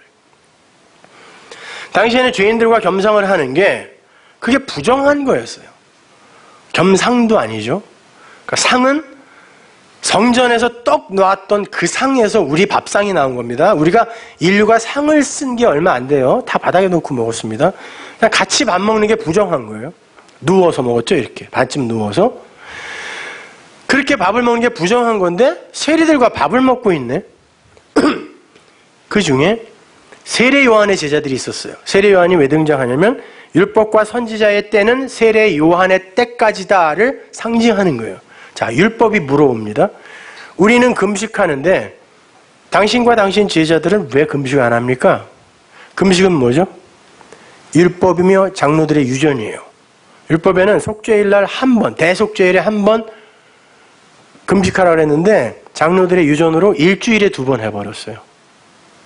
그리고 그 돈으로 구제했다니까요. 그래갖고 잘했죠? 이랬단 말이에요. 그거 얘기하는 거. 우리는 그 금식하는데 당신들은 왜 금식 안 하냐는 거예요. 그때 예수님이 그러죠. 신랑이 와 있다. 아들들에게 신랑이 와 있다. 이 신랑을 만나면 그들이 진짜 아들이 되는 거잖아요. 그렇죠? 신부가 신랑을 네케바가 자카를 그리스도로 맞아버리면 그들이 아들이 되는 게 구원의 서정이란 말이에요. 굳이 따지자면 자 혼인집 아들들이 신랑이 와 있으면 신랑이 주는 걸 먹어야지. 내가 지금 구약의 그 율법이 너희들이 지금 나 안 먹어요 라고 금식하면서 그걸 너희들의 영의 양식이라고 착각하고 그걸 먹고 있잖아. 그죠? 그, 그거다. 그거 아니에요. 야, 이렇게 금식하면 하나님이 우리를 구원해 준 데가 율법주의죠. 그러면 그들이 그 금식을 뭐 하고 있는 거예요? 영의 양식으로 먹고 있는 거예요, 율법을. 그러면서 우리는 금식한다 그러는 거예요.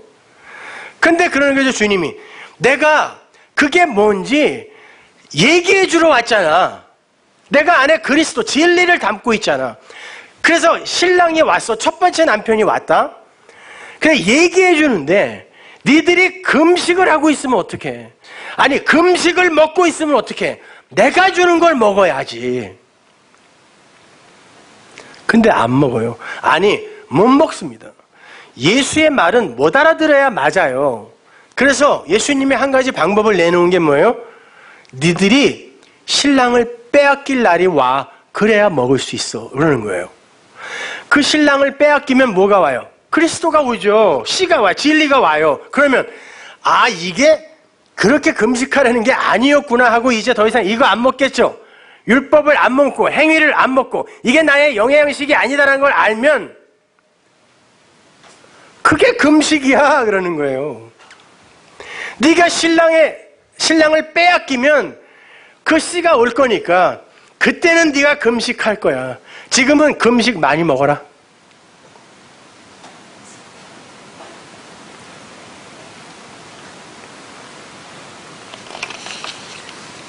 제 말이 아니에요. 이사야서 58장 6절 보세요. 나의 기뻐하는 금식은 흉악의 결박을 풀어주며 멍에의 줄을 끌어주며 압제당하는 자를 자유케 하며 모든 멍에를 꺾는 것이 아니겠느냐?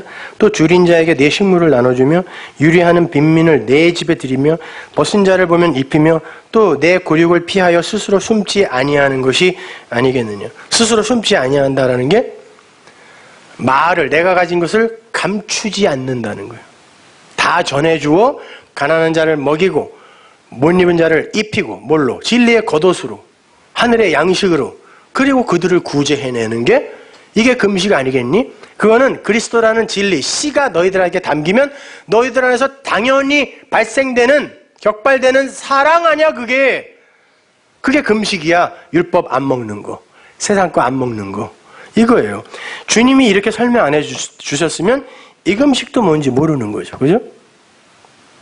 니들이 이사야가 이야기한 그 금식 하게 될 거예요. 어떻게 되면. 예수라는 꽃이 떨어지면.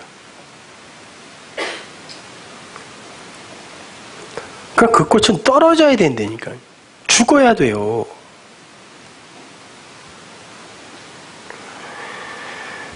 로마서 9장 20, 29절 보세요. 또한 이사야가 미리 말한 바 만일 만군의 주께서 우리에게 씨를 죄라 남겨두시지 아니하였다면 우리가 소돔과 고모라다. 그러니 우리가 무슨 말 하리요? 의를 쫓지 아니한 이방인들이 의를 얻었으니 곧 믿음에서 난 의요 의의 법을 쫓아간 이스라엘은 저게 의야라고 쫓아간 이스라엘은 그 법에 이르지 못했다. 그 법이 이야기하는 그 바, 그 완성을 이루지 못했다. 왜? 그 얘기가 아니었으니까. 어찌 그러하냐? 이는 저희가 믿음에 의지하지 않고 행위에 의지함이라 부딪힐 돌에 부딪혔느니라. 기록된 바 보라 내가 부딪히는 돌과 거치는 반석을 시온에 두노니 저를 믿는 자는 부끄러움을 당치 아니하리라 함과 같으니라. 그 돌은 한 돌입니다.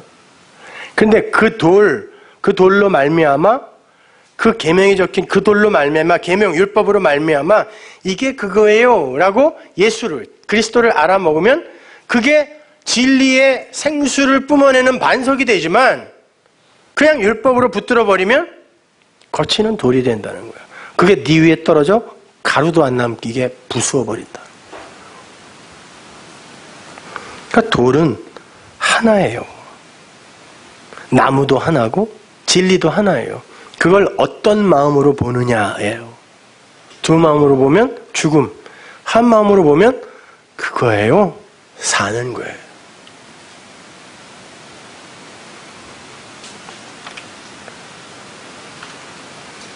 하나님은 모든 것을 짝으로 지어서 설명을 하세요. 그 짝은 원래 하나인데 다르게 보이는 것일 뿐이에요. 나쁘고 좋아 이렇게 우리에게 판단하라고 짝 준 거 아니에요. 하나라니까요. 그걸 하나로 보는 것이 모노게네스, 하나를 가진 자, 진리를 가진 자예요. 거기에서 용서가 일어나는 거예요. 그래서 하나님이 하나님이 짝지어 놓은 것을 사람이 나누지 못한다라고 말씀하신 거예요. 그 이혼하지 말라는 말이 아니에요. 무슨 뭐 하나님이 짝지어 줬어요? 지들이 좋아서 짝졌지? 그래 꼭 하나님이 짝져줬대. 아니에요. 자기가 좋은 사람 짝지게 돼 있어요. 하나님이 이렇게 짝지어서 뭔가를 그 설명하려고 한 걸 지들 맘대로 선, 악으로 구분하여 이건 하고 이건 아- 하면 안 되는 거라고 하면 그거 하나님이 용서 안 한다는 거예요. 하나님이 짝지어놓은 걸 왜 네가 분리해? 왜 네가 둘로 분리해? 왜 네가 선악으로 판단해버려? 그런 이야기란 말이에요. 그리스도 안에 나 그렇게 하나가 아닌 나와 예수로 존재하면 그게 죄예요. 기독교는 다른 종교와 달라요. 여러분이 신을 섬기는 종교가 아니라니까요, 이게. 주신 자유를 누리는 거란 말이에요, 이것이요.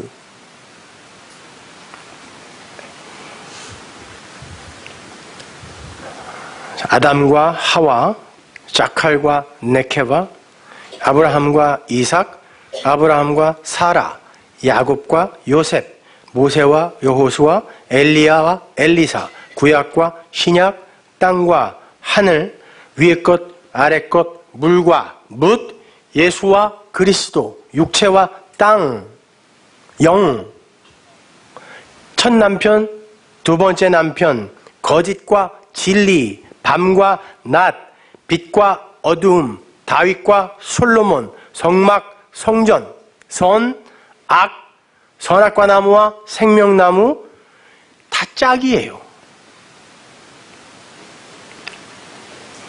그 하나를 통하여 다른 하나로 완성을 해 가시는 방법으로 그 둘을 통해 하나를 설명한단 말이에요. 하나님은.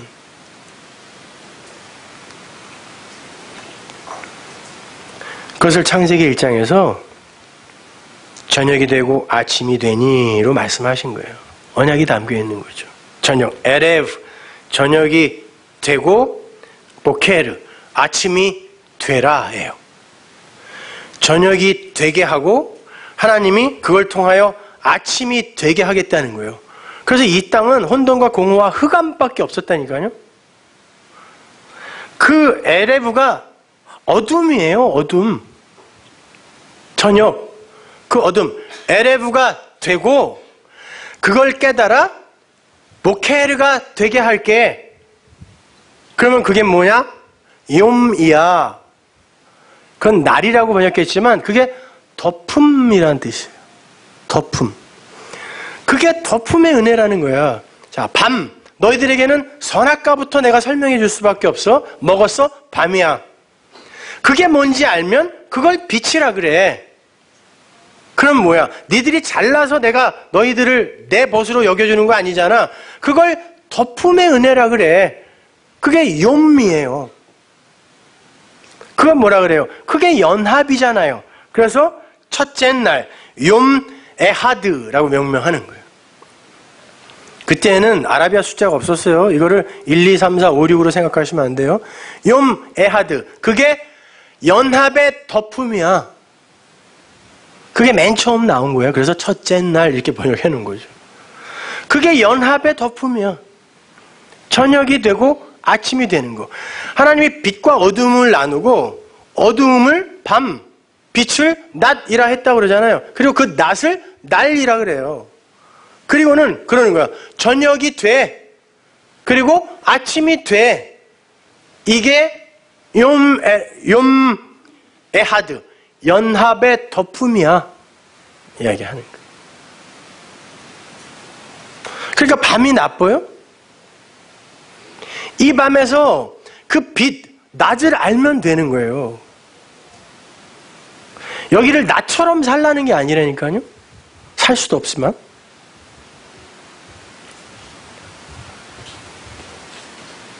두 번째 창조가 뭡니까? 휘장, 궁창을 가운데 두고 궁창 위의 물과 아래 물로 나누죠. 그리고는 이게 두 번째 욤, 욤쉐니 그래요. 그건 짝이라는 말이에요. 우리 산상순에서 배웠잖아요. 듀오, 이 짝이에요. 뭐라 뭐냐면 아랫물은 위엔물을 설명하는 거예요. 아랫물을 갖고 위엔물이 돼. 자, 호코스모스, 율법, 성전, 성경을 갖고 진리로 가. 그러면 그게 짝이야. 옛 성전과 아, 성막과 새 성전이 솔로몬의 성전이 다릅니다. 성막에는 법궤가 조각목에다가 금을 씌운 거지만 성전에는 감람나무에다 금을 씌워요. 감람나무는 하나님을 상징해 항상. 짝이란 말이에요, 이게요. 똑같지 않아요. 자, 그 성전으로, 그 아래 것으로 니들이 위에 거 알았어? 그게 염쉐니. 그거 짝이야. 내가 그렇게 하, 게 만들 거야. 그래 놓고 밤이 돼. 그리고 아침이 돼. 그게 염쉐니야. 짝의 덮음이야. 야, 그러니까 여기에 무슨 뭐 서수가 있고 기수가 있고 그런 거 없어요. 숫자라는 개념이 아예 없다니까요. 의미를 준 거잖아요.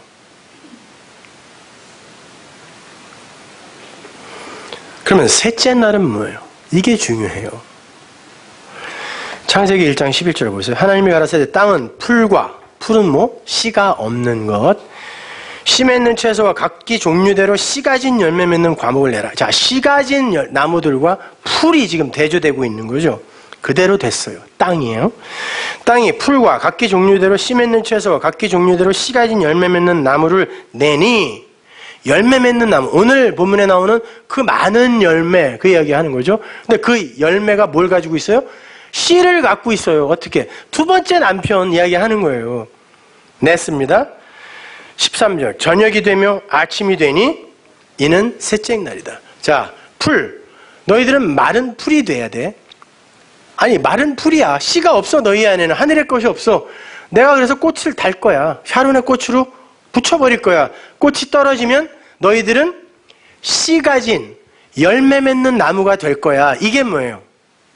진리잖아요. 그래서 이걸 셋째 날이라고 했는데 셋째 날이 아니라 염쉐르시 셋째 층이야. 바울이 3층 천에 올라갔다. 셋째 하늘에 올라갔다 와서 뭐라 그러죠? 첫째 하늘은 보이는 성전, 호우라노스. 둘째 하늘은 내가 하나님 나라다 그러죠? 예수. 셋째 하늘은 진리. 그리스도와 내가 하나가 되어 이제 새 성전이 되잖아요. 셋째 하늘이잖아요. 그 진리를 알았을 때 바울이 내가 셋째 하늘에 갔다 왔어라고 이야기해요. 그리고 뭐라 그러죠? 사람의 말로 이르지 못할 말을 들었다. 그래 놓고 이게 참말이라 그래요. 알레테이야. 진리야. 그런다니까요. 그러면 이 셋째 날이 뭐예요, 이게? 이게 진리란 말이에요.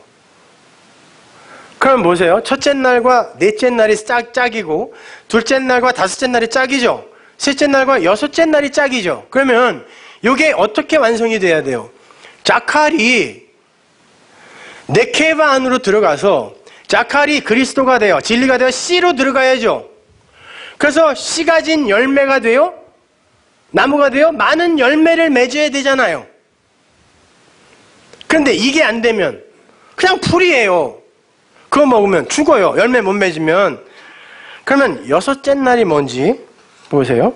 창세기 1장 27절. 하나님이 자기 형상 곧 하나님의 형상대로 사람을 창조하시되 사람 단수예요. 이게 사람이야. 하늘의 사람이야. 남자와 여자. 이쉬도 아니고 이쏴도 아니고 아담도 아니고 하와도 아니에요. 자칼 네케바 남편과 아내 굳이 번역하면 그렇게 되는 거예요. 신랑과 신부. 창조하시고 그 둘이 하나가 되니까 사람이 됐어요. 하나님이 그들에게 복을 주시며 그들에게 이르되 생육하고 번성하며 땅에 충만하라 땅을 정복하라 바다의 고기와 공중의 새와 땅에 움직이는 모든 생물을 다스리라 뭐예요? 진리로 네가 자카를 네케바가 품으면 그게 사람 아들이 되는데 그렇게 되면 온 천지 만물이 그게 다 진리를 설명한다라는 걸 알 거야 이게 다스리고 정복하는 거야 다 정복될 거야 너희들한테 꽃이 떨어지는 것도 진리요, 피는 것도 진리요, 사람이 태어나는 것도 진리요, 죽는 것도 진리요, 모든 게 다 너희들에게 정복될 거야. 이게 진리를 가진, 씨를 가진 사람, 아들의 모습이야. 그리고 29절, 하나님이 가라사대 내가 온 지면에 씨 맺는 모든 채소와 씨 가진 열매 맺는 모든 나무는 너에게 줄 테니까 그거 먹어. 너희 식물이 돼. 이게 뭐예요? 네 양식이야 예요. 씨 가진 거. 진리. 그런데 땅의 짐승과 공중의 새. 공중의 새는 뭐라 그랬어요? 옛 성전. 생명이 있어 땅에 기는 모든 것, 부정한 것들이에요. 내가 모든 풀을 식물로 줄이라. 씨 없는 거, 율법. 그거 먹으라는 거. 어떻게 되라는 거 그리고 죽으라는 거죠. 열심히 식량 아닌 거 먹고 죽으라는 거예요. 밤 12시에 라면 3개, 4개, 계란 5개 넣어서 끓여 먹고 밥 한 공기 넣어서 먹으면 아침에 일어나면 불쾌하죠. 포만감이 있는 게 아니라 내가 왜 그랬지 그러잖아요. 그거보다 더한 거예요. 먹어. 풀 줄게. 씨 없는 거 줄게. 땅의 짐승들아 그거 먹어. 그게 완성이야. 각자의 자리에서의 완성. 그러면 일곱째 날이 되는 거예 그러니까 창세기는 1장 1절 아니 첫 글자, 첫 문자부터 다 이 진리의 복음만 이야기해요. 씨 얘기야. 많은 열매. 니는 그거 먹어야 자칼레케바 사람이야. 근데 왜 내가 이야기하는데 금식해? 그거 이야기해 주는데 왜 안 먹냐고요? 엉뚱한 얘기나 하냐고 자꾸. 딴 금식을 하고 있어요. 여러분은 반드시 그 진리를 마음으로 가지고 계셔야 돼요. 행위와 마음 둘 중에 하나 가지셔야 돼요. 전자는 멸망 이후 후자가 생명입니다. 생명을 가진 이들은 하나님이 짝으로 설명하시기 위해 놔둔 거 절대 가르지 않아요. 거기에서 용서가 죄를, 악을 다르게 보는 마음이 생겨 정죄와 판단과 심판을 안 하는 거예요. 그걸 용서라고 하잖아요. 그러니까 그거 알면 되는 거예요. 그 진리 아브라함이 알았다니까요. 그래서 내가 예수 봤어 그러는 거예요. 보긴 언제 봐요. 그 진리 보면 그 십자가 내 거야 이야기하는 거예요. 그래서 십자가 이전에도 십자가로 구원받는다고 그러는 거예요. 그게 뭔지 알았으면 되는 거니까. 나는 아니구나. 아는 거예요. 율법에서 해방되는 거예요. 그래서 주님께서도 용서 몇 번씩 해줘야 돼요? 이렇게 물어보는 제자에게 70에 7을 해. 그런 거예요. 이른멋이 7번, 77이 49, 490번 해가 아니라 70에 7, 7이 뭐야? 1회, 하루 이틀 다 쓰였어요. 1회. 71회의 용서는 일어나는 거야. 이렇게 이야기해요. 70일이가 뭐예요? 다니엘서 9장에 보면 하나님이 이 역사 전체를 70일에로 나눠주세요. 근데 예수 그리스도가 오면 69일이에요. 그리고 와서 반을 쓰고 가세요. 3년 반. 나머지가 3년 반이죠. 이게 우리의 인생이에요. 그래서 요한계시록에 한때 두때 반때 3년 반 42달 1260일이 나오는 거예요. 이 역사를 그렇게 이야기한다니까요. 그 말은 69일의 반을 3년 반에 다 넣어버리겠다는 거예요. 그 일이 우리에게서 일어나는 이 일이 십자가 이후에 일어나는 이 일이 역사 내내 일어나는 거야.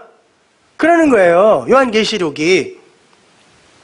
뿐만 아니라 예수에게 3년 반 동안 일어났던 일이 너희에게 일어날 일이야, 그게. 그래서 3년 반이에요.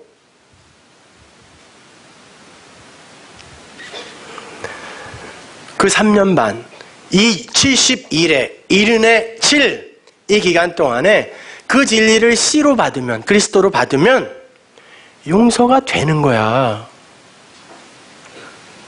그 이야기 하시는 거예요, 예수님이.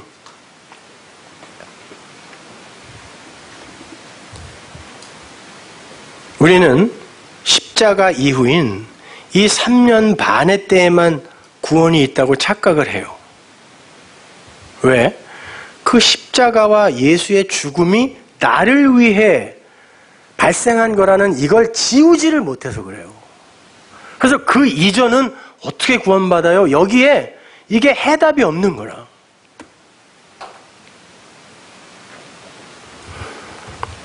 그래서 그 예수에게 감사하느라 여전히 율법에 묶인 삶을 살게 되는 거예요.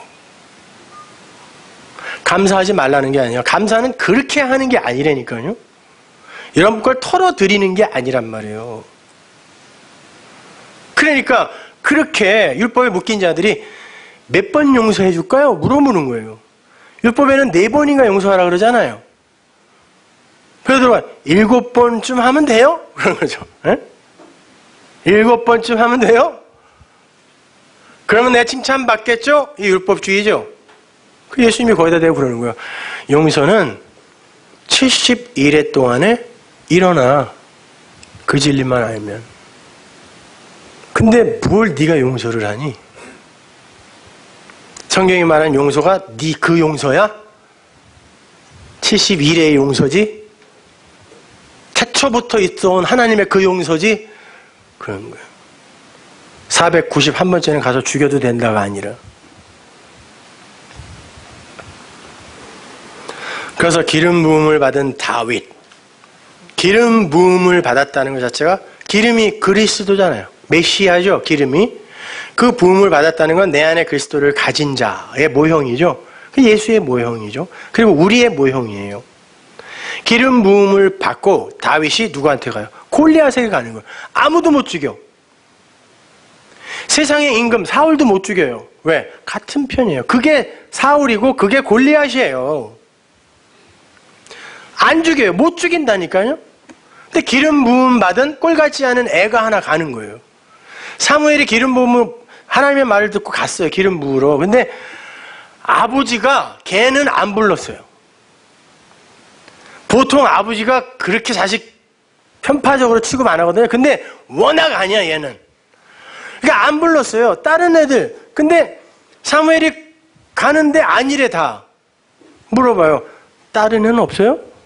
근데 아버지가 하나 있긴 있는데 걔는 아니에요. 여기서 다시 골라세요. 골라보세요. 사무엘 걔 데리고 오세요.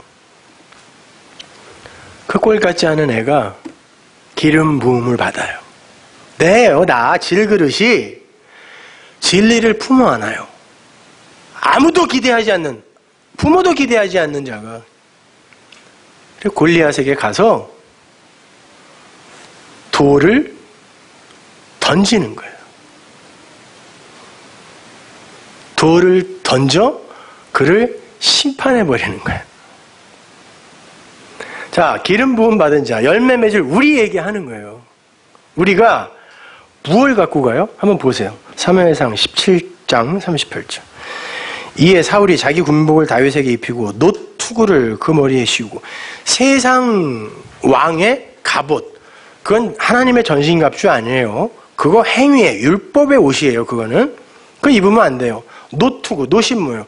성전 마당을 만들던 기명 그거 기명을 만들던 게 노시죠? 섞인 거. 구리와 아연, 구리 주석 섞으면 노시 되는 거예요. 그래서 성전 마당 율법을 섞인 것 이렇게 모형을 해서 노수로 만드는 거예요. 그 노투구 이게 지성소로 들어가면 금이 되죠. 섞인 거에서 순수한 것으로 가는 거예요. 그게 성전이란 말이죠. 그 노투구는 뭐예요? 구원의 투구 아니에요, 그거는. 벗어야죠. 그래서 다윗이 어떻게 하는지 보세요. 그 머리에 씌우고 또 그에게 갑옷을 입히며 다윗이 칼을 군복 위에 차고는 익숙치 못함으로 시험적으로 걸어보다가 사울에게 고하되 익숙치 못하니 이것을 입고 가지 못하게 했나요 하고 곧 벗고 손에 막대기를 갖고 시내에서 매끄러운 돌 다섯을 골라 자기의 목자, 목자의 제구, 곧 주머니에 넣고 손에 물매를 가지고 블레셋 사람에게로 나아가니라. 자, 요 일이 그대로 요 그림대로 일어난 거 맞아요. 근데 문자는 그렇게 안써 있어요. 다른 문자들을 여기다 써서 성경이 우리에게 뭘 가르쳐 주려고 그래요. 기름 부음을 받은 바로 그 그리스도를 상징하는 그 씨가 이제 율법에게 가는데 아무도 못 이겨. 아무도 못 이겨. 세상 왕도 못 이겨. 가는데 뭘 가져가요? 막대기.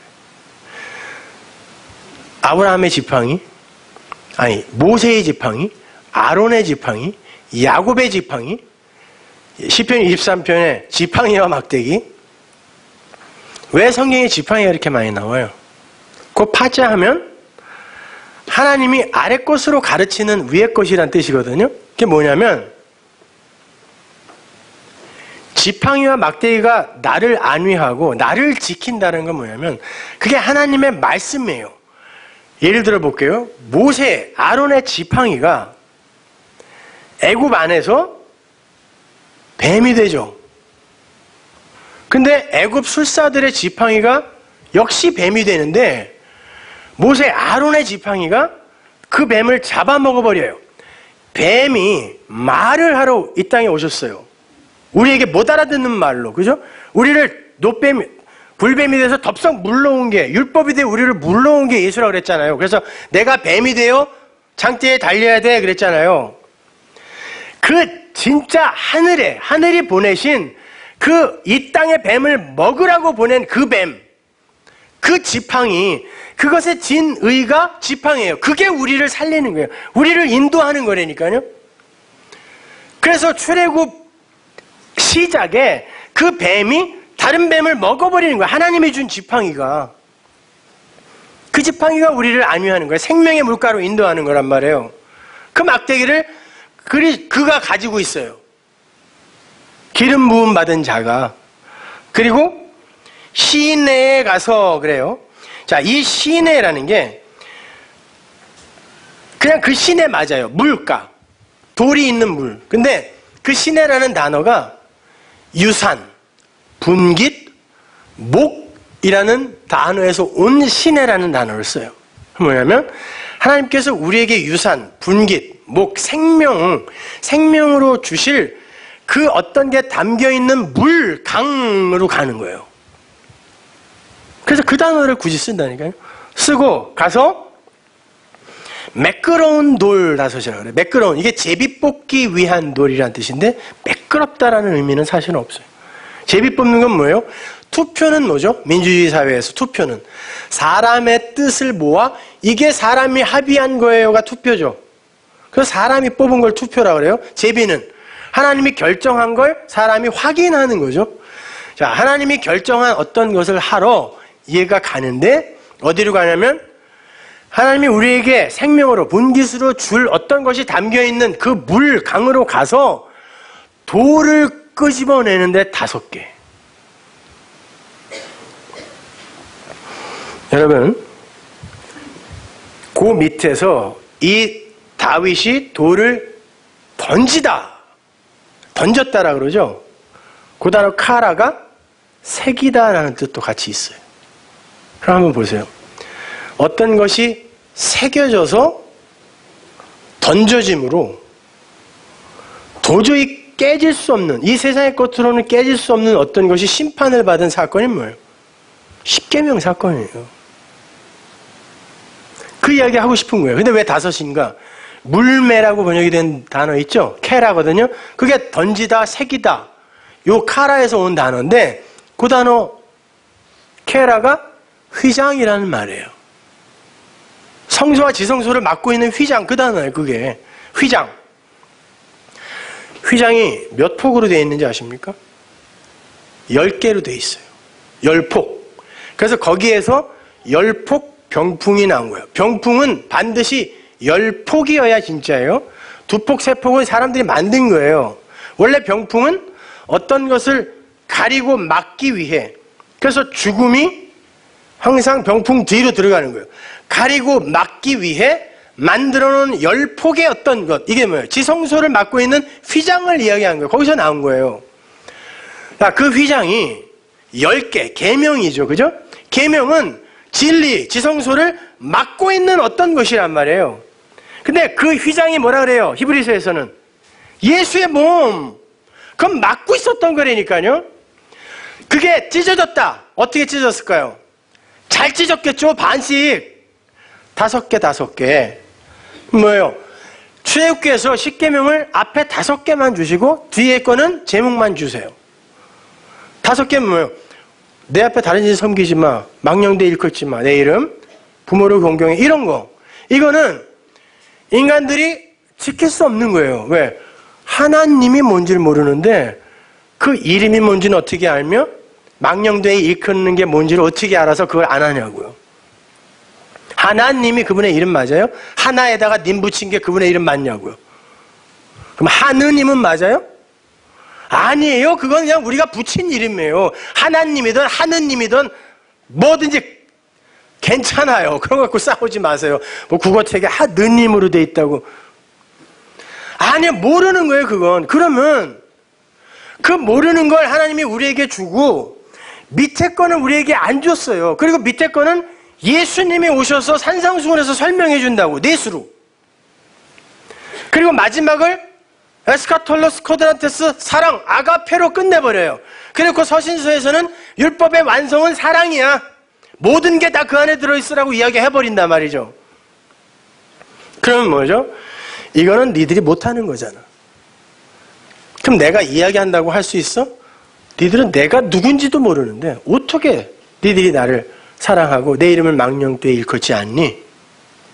이름이라는 거 곧 말씀인데 그거는 우리가 못 알아먹는 거예요. 그러면 니들이 이걸 할 수 있는 방법이 뭐냐면 밑에 다섯 개를 하면 그게 바로 위에 걸 하는 거야. 뭐예요? 살인하지 마, 희생제사 드리지 마, 간음하지 마. 희생제사 드리면 당연히 간음하고 그걸로 거짓 증거하고 그걸로 엉터리 말을 우리 남에게 던져줄 테니까 사랑도 안 되는 거잖아요. 근데 그걸 뭔지 알아. 진리로 깨달으면 아 이거예요. 희생제사 드리지 않는 거. 그게 하나님을 망령되이 우상으로 섬기지 않는 거군요. 그리고 간음하지 않는 거, 거짓 증거하지 않는 거.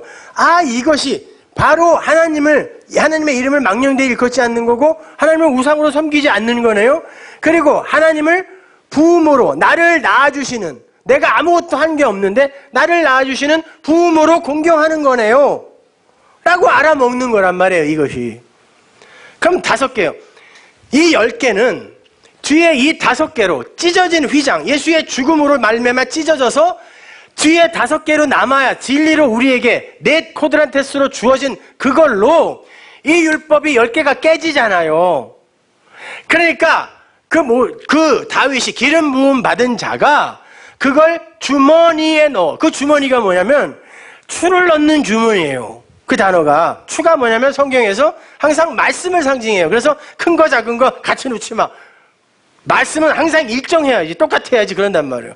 그 거기에 넣어 추 넣는 말씀을 넣는 주머니가 뭐 나예요 그리스도 호소마 호 크리스토스 내가 그렇게 돼서 가면 그 누구도 깰 수 없는 철옹성 같은 그 골리앗이라는 율법이 깨진다는 거예요 죽는다는 거예요 그래서 물매 휘장 그 휘장이 찢어져 다섯 개로 던져지자 그가 죽는 것입니다 그리고 이 이야기를 복음으로 우리에게 설명해 주는 거예요.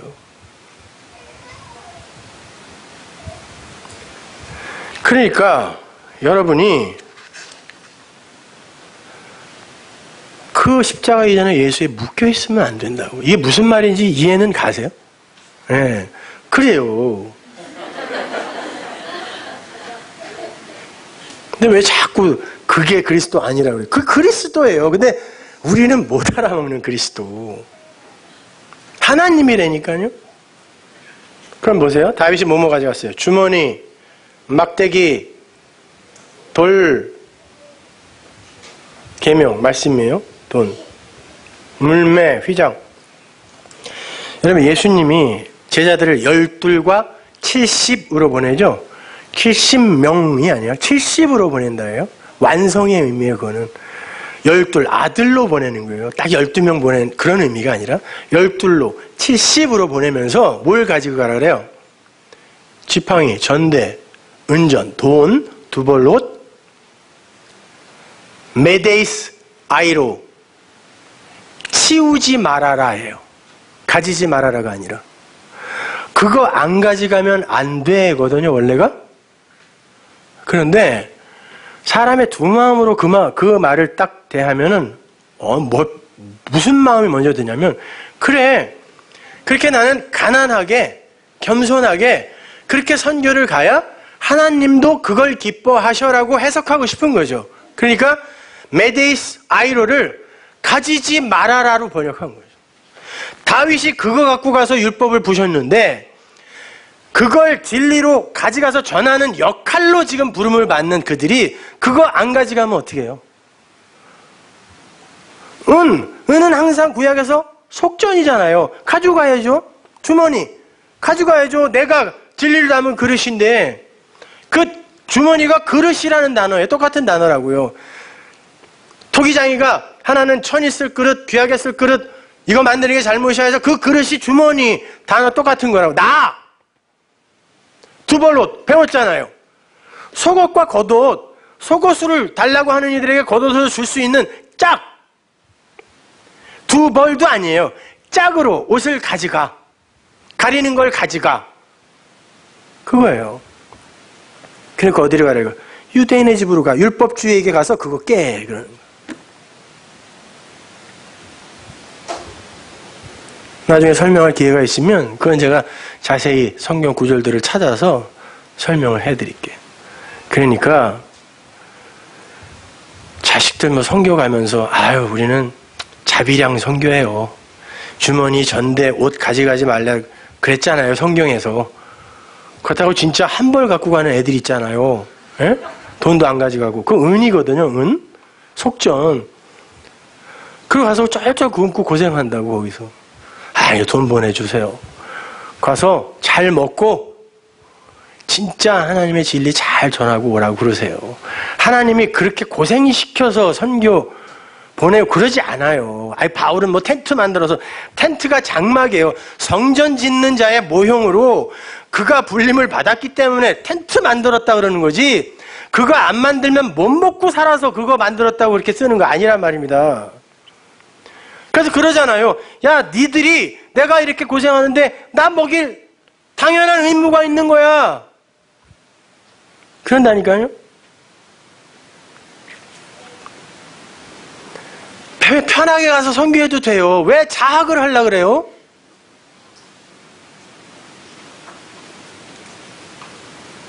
그리고 와서는 그냥 그 만족감에 내가 그렇게 고생하면서 일주일을 버텼다. 어? 그 하는 동안에 하나님은 얼마나 미웠을까요? 나를 이 고생 시키는 그 영감탱이 막 그러면서. 성경은 그런 얘기 안 합니다. 그런 것은 자유로우세요, 제발. 그리고 그런 거 갖고 딴 사람들 평가하고 그러지 마세요. 누가 뭐 호텔에 가서 선교하고 왔다고 뭐 이왕이면 돈 있으면 거기 가서 그렇게 하세요. 말 제대로 된 진리를 잘 전할 수만 있으면 편하게 가서 하고 그러니까 뭐로 고생하면서 막 그러고 건피부병 걸려갖고 오고 그러냐고요. 쾌적한 데서 잘 전해야지. 엉뚱한 봉사 활동을 성교라고 착각하니까 그게 그냥 무슨 대단한 성교인 양 말이에요. 안 해요, 여러분. 성경은 절대 그런 얘기 안 합니다. 그러니까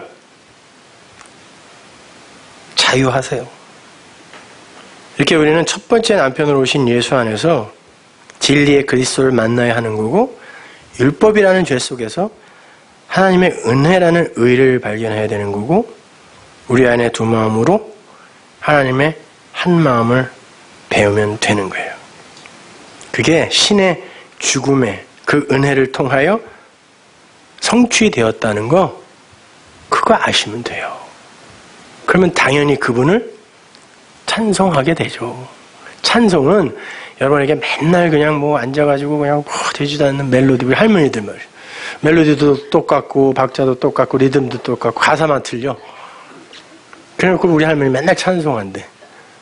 무슨 뜻인지도 모르고. 그게 아니라, 자, 내가 어디 산에 가다가 맛 있는 아주 시원하고 너무너무 깨끗한 옹달샘을 발견했어요. 마셔서 너무 좋아. 칭찬해 주고 싶어. 찬송하고 싶어요. 어떻게 해야 돼요? 그릇에다 떠놓고 빌면 돼요? 먹고 다른 이들에게 아 시원해. 그럼 돼요. 그걸 찬송이라 그래요. 그게 진짜 섬김이라니까요. 근데 우리는 그거 떠놓고 거기다 대고 뭐 빌고 있는 거죠. 이걸 우상 섬김이라 그래요. 여러분이 진리의 복음을 알았으면 아 좋아 하면 되는 거예요. 아, 좋아.